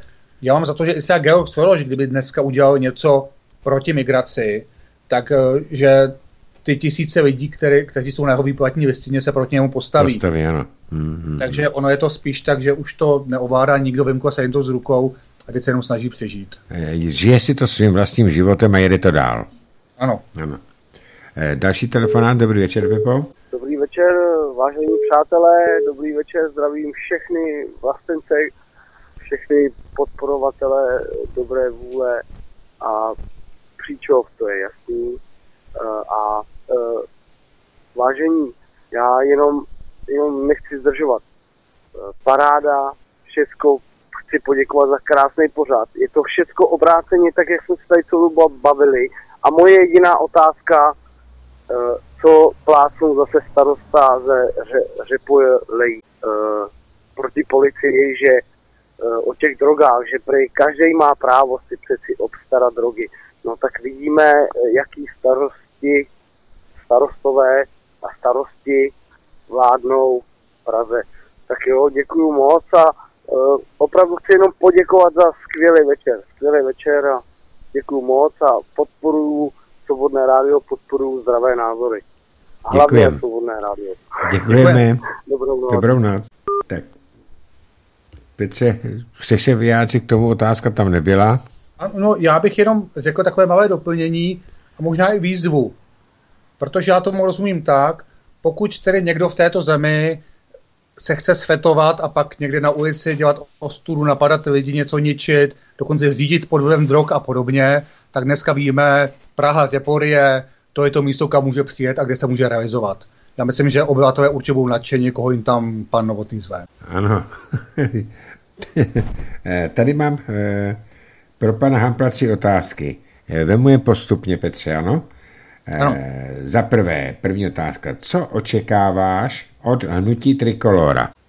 Já bych řekl v tomto okamžiku nic, eh, nebo nechci prostě ta očekávání specifikovat, protože opravdu ještě nebyl ustavující sněm, ještě nebyla ani programová konference. Já z toho mám takový, zatím mohu říct, jako jenom pocit, a to je můj osobní, a to je takové, já bych řekl, maličké opatrné zklamání, že tak, jak jsem četl ty roky články Václava Kouze mladšího, a jak jsem z nich byl velice nadšený, a jak jsem byl velice nadšený z toho, jak vystupuje v parlamentě i jinde, tak mám pocit, že Trikolora nejde, tím, nejde v těch stejných stopách, ale že je taková opatrnější, mainstreamovější. Ale třeba je to jen můj pocit, já teď bych nechtěl, aby to bylo, aby z toho bylo nějaké silné prohlášení.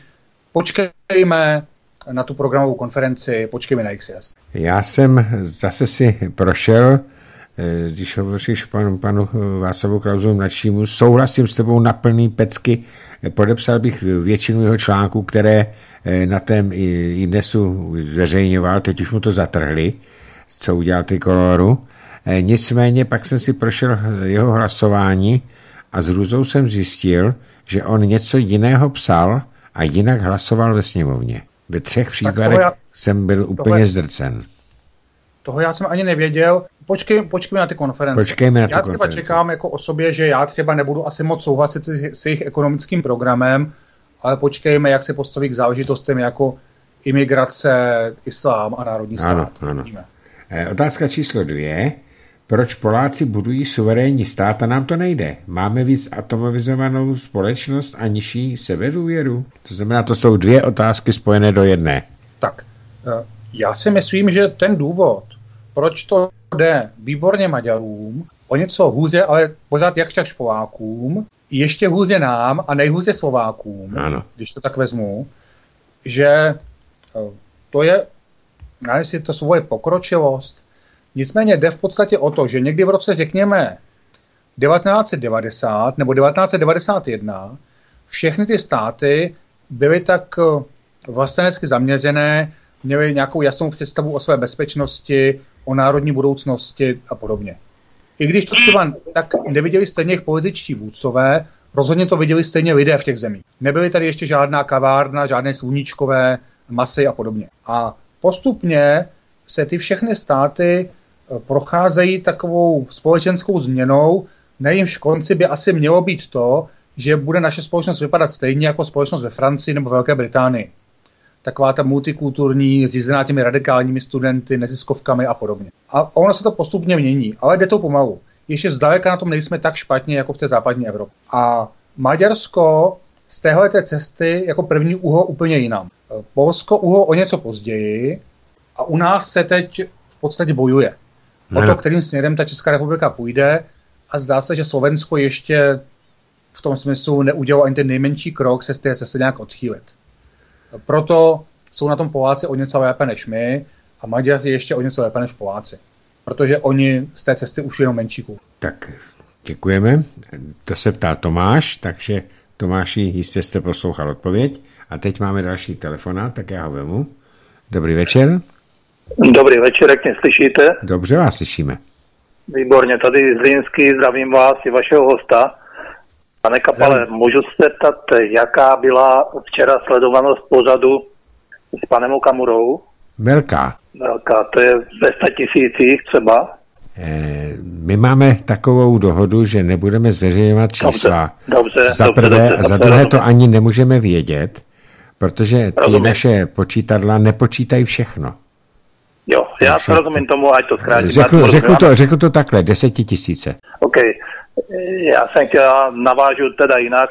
Pan Hampel řekl, že v současné situaci bohužel český občan nemůže dělat vůbec nic. Vám už to tady naznačil eh, nedávno pan generál Blaško, že sedět doma a povídat si o tom je eh, neproduktivní, že to chce zkrátka dobře Eh, naznačil to být na to náměstí. To je jediné řešení, které se dá dělat a já se s tím stotožňuji, protože nějaký 7% hamáček, teďka nemyslím jeho eh, sexuální zaměření, aby to někdo nepopletl, ale myslím 7%, co dostalo eh, ČSSD ve volbách, tak tento člověk tady svými fantasmagoriemi jo, rozhoduje o budoucnosti 10 milionů lidí a dost podstatně.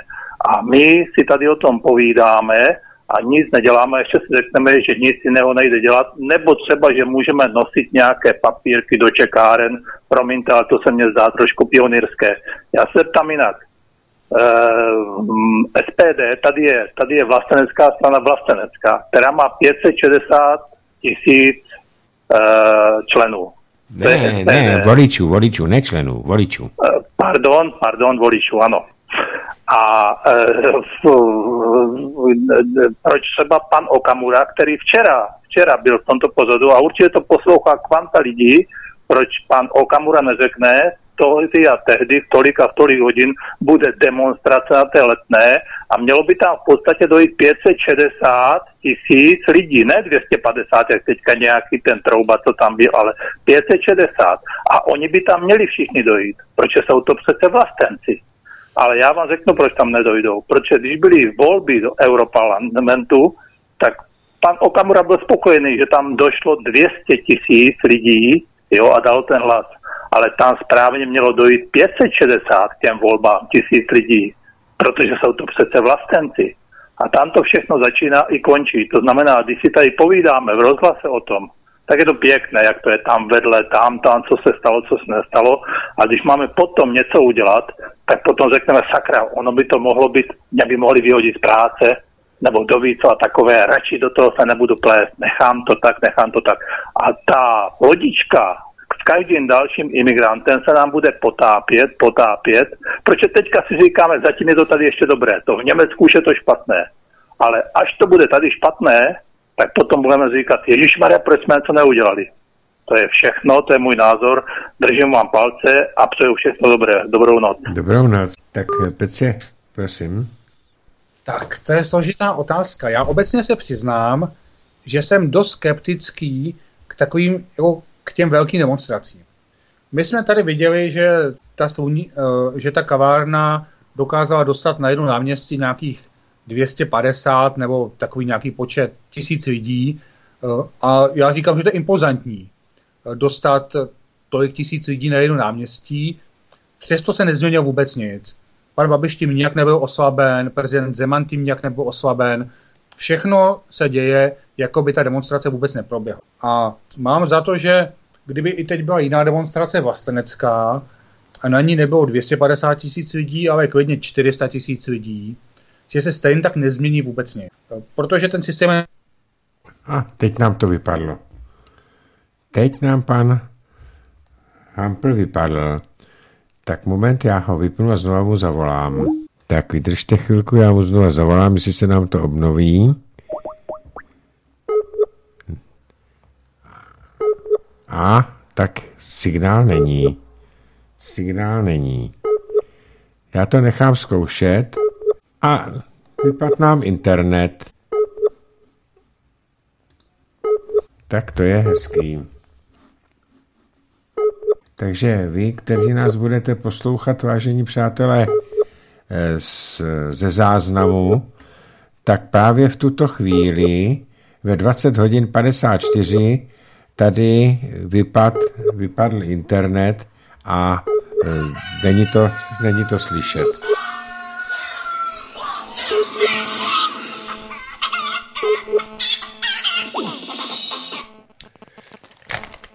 Petře, vypadl nám internet.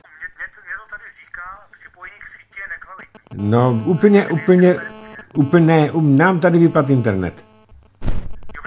Ve, ve studiu nám vypad internet, takže já to teďka zkouším nahodit, ale vůbec to nejde.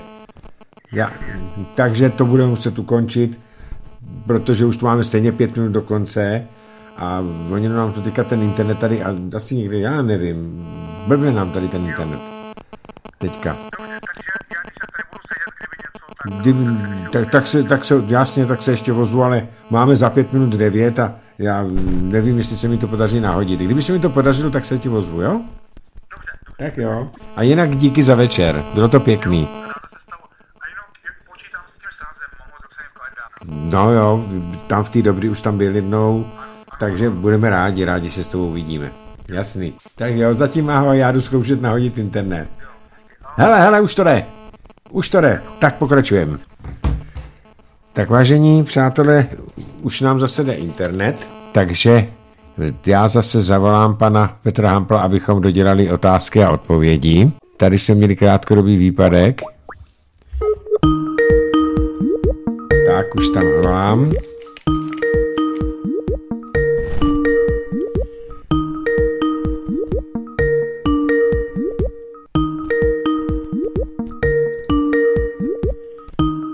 Osoba, které voláte, není dostupná. Tak, eh, tak prosím, zavolám Petrovi, aby zavolal on nám, protože tam je nějaký problém. Zase. Jo, už volá Petr. Dobře, beru ho, beru ho. Beru ho. Tak, slyšíme se? Já tě, slyší, slyšíš mě? Ano, slyším, výborně. Výborně, tak to je super. Takže doděláme ten, ten, ten pořad, protože eh, tady jsou ještě ty otázky. Tak, eh, ano, tak tady Pavel Řezníček, jak před nedávnem volal, tak píše, přihlášku do klubu jsem již poslal, takže já ho budu následovat hned zítra Super. dopoledne. Tak, jdu na další dotaz. Eh, dobrý večer, pánové. Doslechl jsem se, že prý jeden z prarodičů Gréty založil koncem 19. století ve Švédsku vědecký ústav jednoho z oborů eugeniky. Víte o tom něco? Gruber Bohomír z Brna. Eh, tak víš o tom něco? Ne, nikdy jsem o tom neslyšel, pro mě je to nová informace. Tak já o tom vím, tak já to jenom vysvětlím. Ano. Ano, pradědeček Grety eh, je nositelem Nobelovy ceny za chemii, ale založil tam opravdu ve Švédsku ústav eugeniky, eh, tedy mm, bádání o genetické výbavě a o genetice, kterou později zneužili nacisti, známý doktor Mengele, takže ona Greta právě proto byla vybrána, že ten její pradědeček nebo dědeček, takže hm, pradědeček, myslím, že to bylo, takže on opravdu eh, byl nositelem Nobelovy ceny a byl zakladatelem eugenické společnosti ve Švédsku. Je to pravda. Tak další. Pepa je ze severu. Otázka, co říká pan host na Černohorského, rádový vlastenec. Eh, píše, že se ptá Pepa ze severu.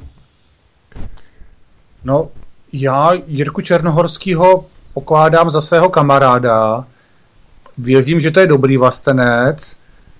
Na druhou stranu je pravda, že jeho projev je takový specifický, není vhodný pro každou příležitost. Já sám preferuji, řekněme, jiný styl, ale nemůžu o něm říct nic špatného. Prostě jsou asi lidé, kterým to vyhovuje bojím se, že nikdy nezasáhne nějaké větší publikum, že to je opravdu tak jako velmi specifický styl, ale nechtěl bych, nechtěl bych o něm říkat něco špatného. Jestli je o něm něco špatného, tak já to nevím. Eh, já jsem včera dostal otázku, jestli jsme eh, četli nějakýho blog, eh, teda nebo na jeho Facebooku, kde ostře nadává a už delší dobu na SPD. Jo, on si eh, opravdu i na tom, na těch vystoupeních na tom náměstí se trefoval od samého začátku do SPD a já vím proč a tady je ten důvod. On se totiž snažil dostat mocí Mermo na volitelné místo na kandidátku SPD a byl odmítnut. A z toho asi plyne ta zášť. Protože on opravdu, mm, jak může, tak eh, dehonestuje Eh, jedinou vlasteneckou stranu, která je v parlamentu. Ale jinak eh, já si taky myslím, že je vlastenec, bohužel jeho možnosti jsou velice a velice omezené. To je můj názor. Já s tímhle tím úplně souhlasím, já jsem o tom SPD nevěděl. Já bych všem takovým lidem doporučil, aby nešli tou cestou, že budou hned chtít na, nějakou, na nějaké zajímavé místo na kandidáce, aby třeba, když chtějí do SPD, tak aby tam vstoupili několik let nějak se trvale pracovali, ukázali, že za nimi je něco a potom třeba půjdu na tu kandidátku. Zdalo by se mi to lepší, než rovnou přijít a jenom se dožávat místa. Já mám naprosto stejný názor, jako máš ty, eh, protože, abych se přiznal, tak já tvrdím, že ti přišetší, tak eh, že musí zároveň i v tom samotném SPD Eh, způsobit rozkol, protože já si neumím představit, že já bych tady pracoval pro nějakou politickou stranu, eh, pracoval bych řadu let a měl bych nějaké politické ambice, vidíš, a pak by tam přišel někdo, kdo je známější a dostal se tam na tu pozici a já utřel nos. Takže mám naprosto stejný názor jako ty, že na kandidátku by se měli dostávat lidé, samozřejmě, aby tam nešli lidé, kteří na to nemají, protože je spousta lidí, kteří jsou skvělí straníci a pracují pro tu stranu, ale na vysokou politiku eh, zkrátka nemají buňky, nemají schopnosti, tak tam, tam by to, takhle by to asi mělo vypadat. Eh, tak teď mám ještě poslední otázku, abych jsme to dodělali, ty otázky. Dobrý večer, pánové. Jaký má pan Hampl názor, to je zase na pana Jaroslava Foldinu. Vím o tom, že ho pan Kapal pozval, píše pan Jaroslav z Prahy, a on mu odmítl s odůvodněním, že e, to neumí s technikou. Tak jaký má pan, e, pan Hampl názor na Jaroslava Foldinu? Já samozřejmě neznám okolnosti té radiové záležitosti, ale tak, jak já Jaroslava Foldinu znám, tak si myslím, že kdyby chtěl nepřijít nebo mu nějak vadilo svobodné rádio, že by to řekl přímo na referovku. On je takový člověk. Takže, že by se nevymlouval. Takže jestli mu to s tou technikou nejde, tak věřím, že opravdu to tak je. A e, já jsem nikdy nebyl voličem sociální demokracie, ani příznivcem sociální demokracie, ani v Zemanových dobách, ale zdá se mi, že v tuto chvíli je Jaroslav Foldina, když vezmu prostě ty lidi, kteří jsou v parlamentě a v politických stranách, takže to je možná nejvýraznější osoba, zcela jistě nejodvážnější člověk, e, takový přímý, já ho mám rád i lidsky, líbí se mi, co říká jako člověk. Spíš teď s napětím čekám, jak to s ním bude pokračovat. Protože jasné, že sociální demokracie tohoto typu asi nemůže zůstat. Nevím, jestli bude chtít do SPD nebo do nějaké jiné strany, nebo jak vůbec, co se kolem něj bude dít. Sleduju to s takovým napětím, protože se mi zdá, že to je člověk, který uh, ještě může pro tuhle zemi hodně udělat. Naprosto stejný názor na tohle to mám. A e, za prvé, za druhé si myslím, že to je jediný sociální demokrat, který se nespronevěřil těm původním myšlenkám těch jejich otců zakladatelů před těmi 120 lety zhruba.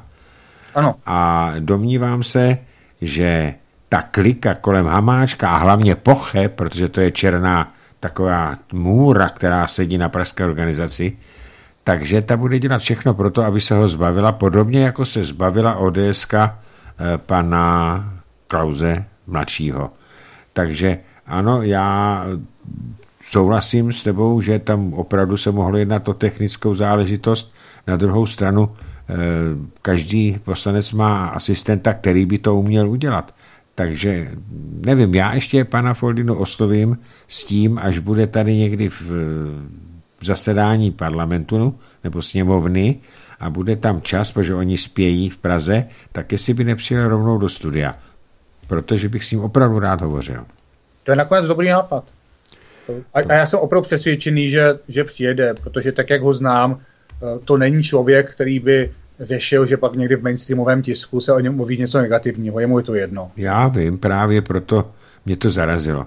Eh, no nic. Eh, Petře, Vyčerpali jsme všechny otázky, já se ještě podívám, jestli nepřišlo něco. Zmeškaný hovor, to se omlouvám. A to jsem hned si ne, nezregistroval. A e, děkuji ti, že jsi na nás udělal čas. No, byl jsem tady rád, líbilo se mi to. Mně taky a zase zase za nějaký čas ozvu a zase si takhle popovídáme. Souhlasíš? Souhlasím. A teď mě napadlo ještě něco, jestli bych nemohl říct jednu pozvánku. Ano, říkej. A sice já 12. 12. září budu mít v Besru v Jihlavě a budu mít společně s, s česko-izraelským bezpečnostním expertem Davidem Bohvotem. Takže kdo je z Jihlavy a okolí, přijďte, dva, přijďte 12. září. Který to je den? Je to čtvrtek. Čtvrtek. Takže ve čtvrtek 12. září v Jihlavě to je kde? A je, moment, já, já se podívám na pozvánku, abych to neříkal špatně. Jo, už jsem si vzpomněl. Restaurace Venuše. Tak ve restauraci Venuše. Od ano, 18 hodin. Od 18 hodin. Kdo je v blízkosti, tak uh, si myslím, že by se si to neměl nechat ujít, protože Petr Hampel umí krásně povídat a uh, myslím si, že to bude přínosné. Takže já se tam bohužel nedostanu, protože já budu sedět tady ve studiu od 18 hodin. Jako každý večer. Takže ještě jednou, Petře, děkuji, že jsi se nás udělal čas.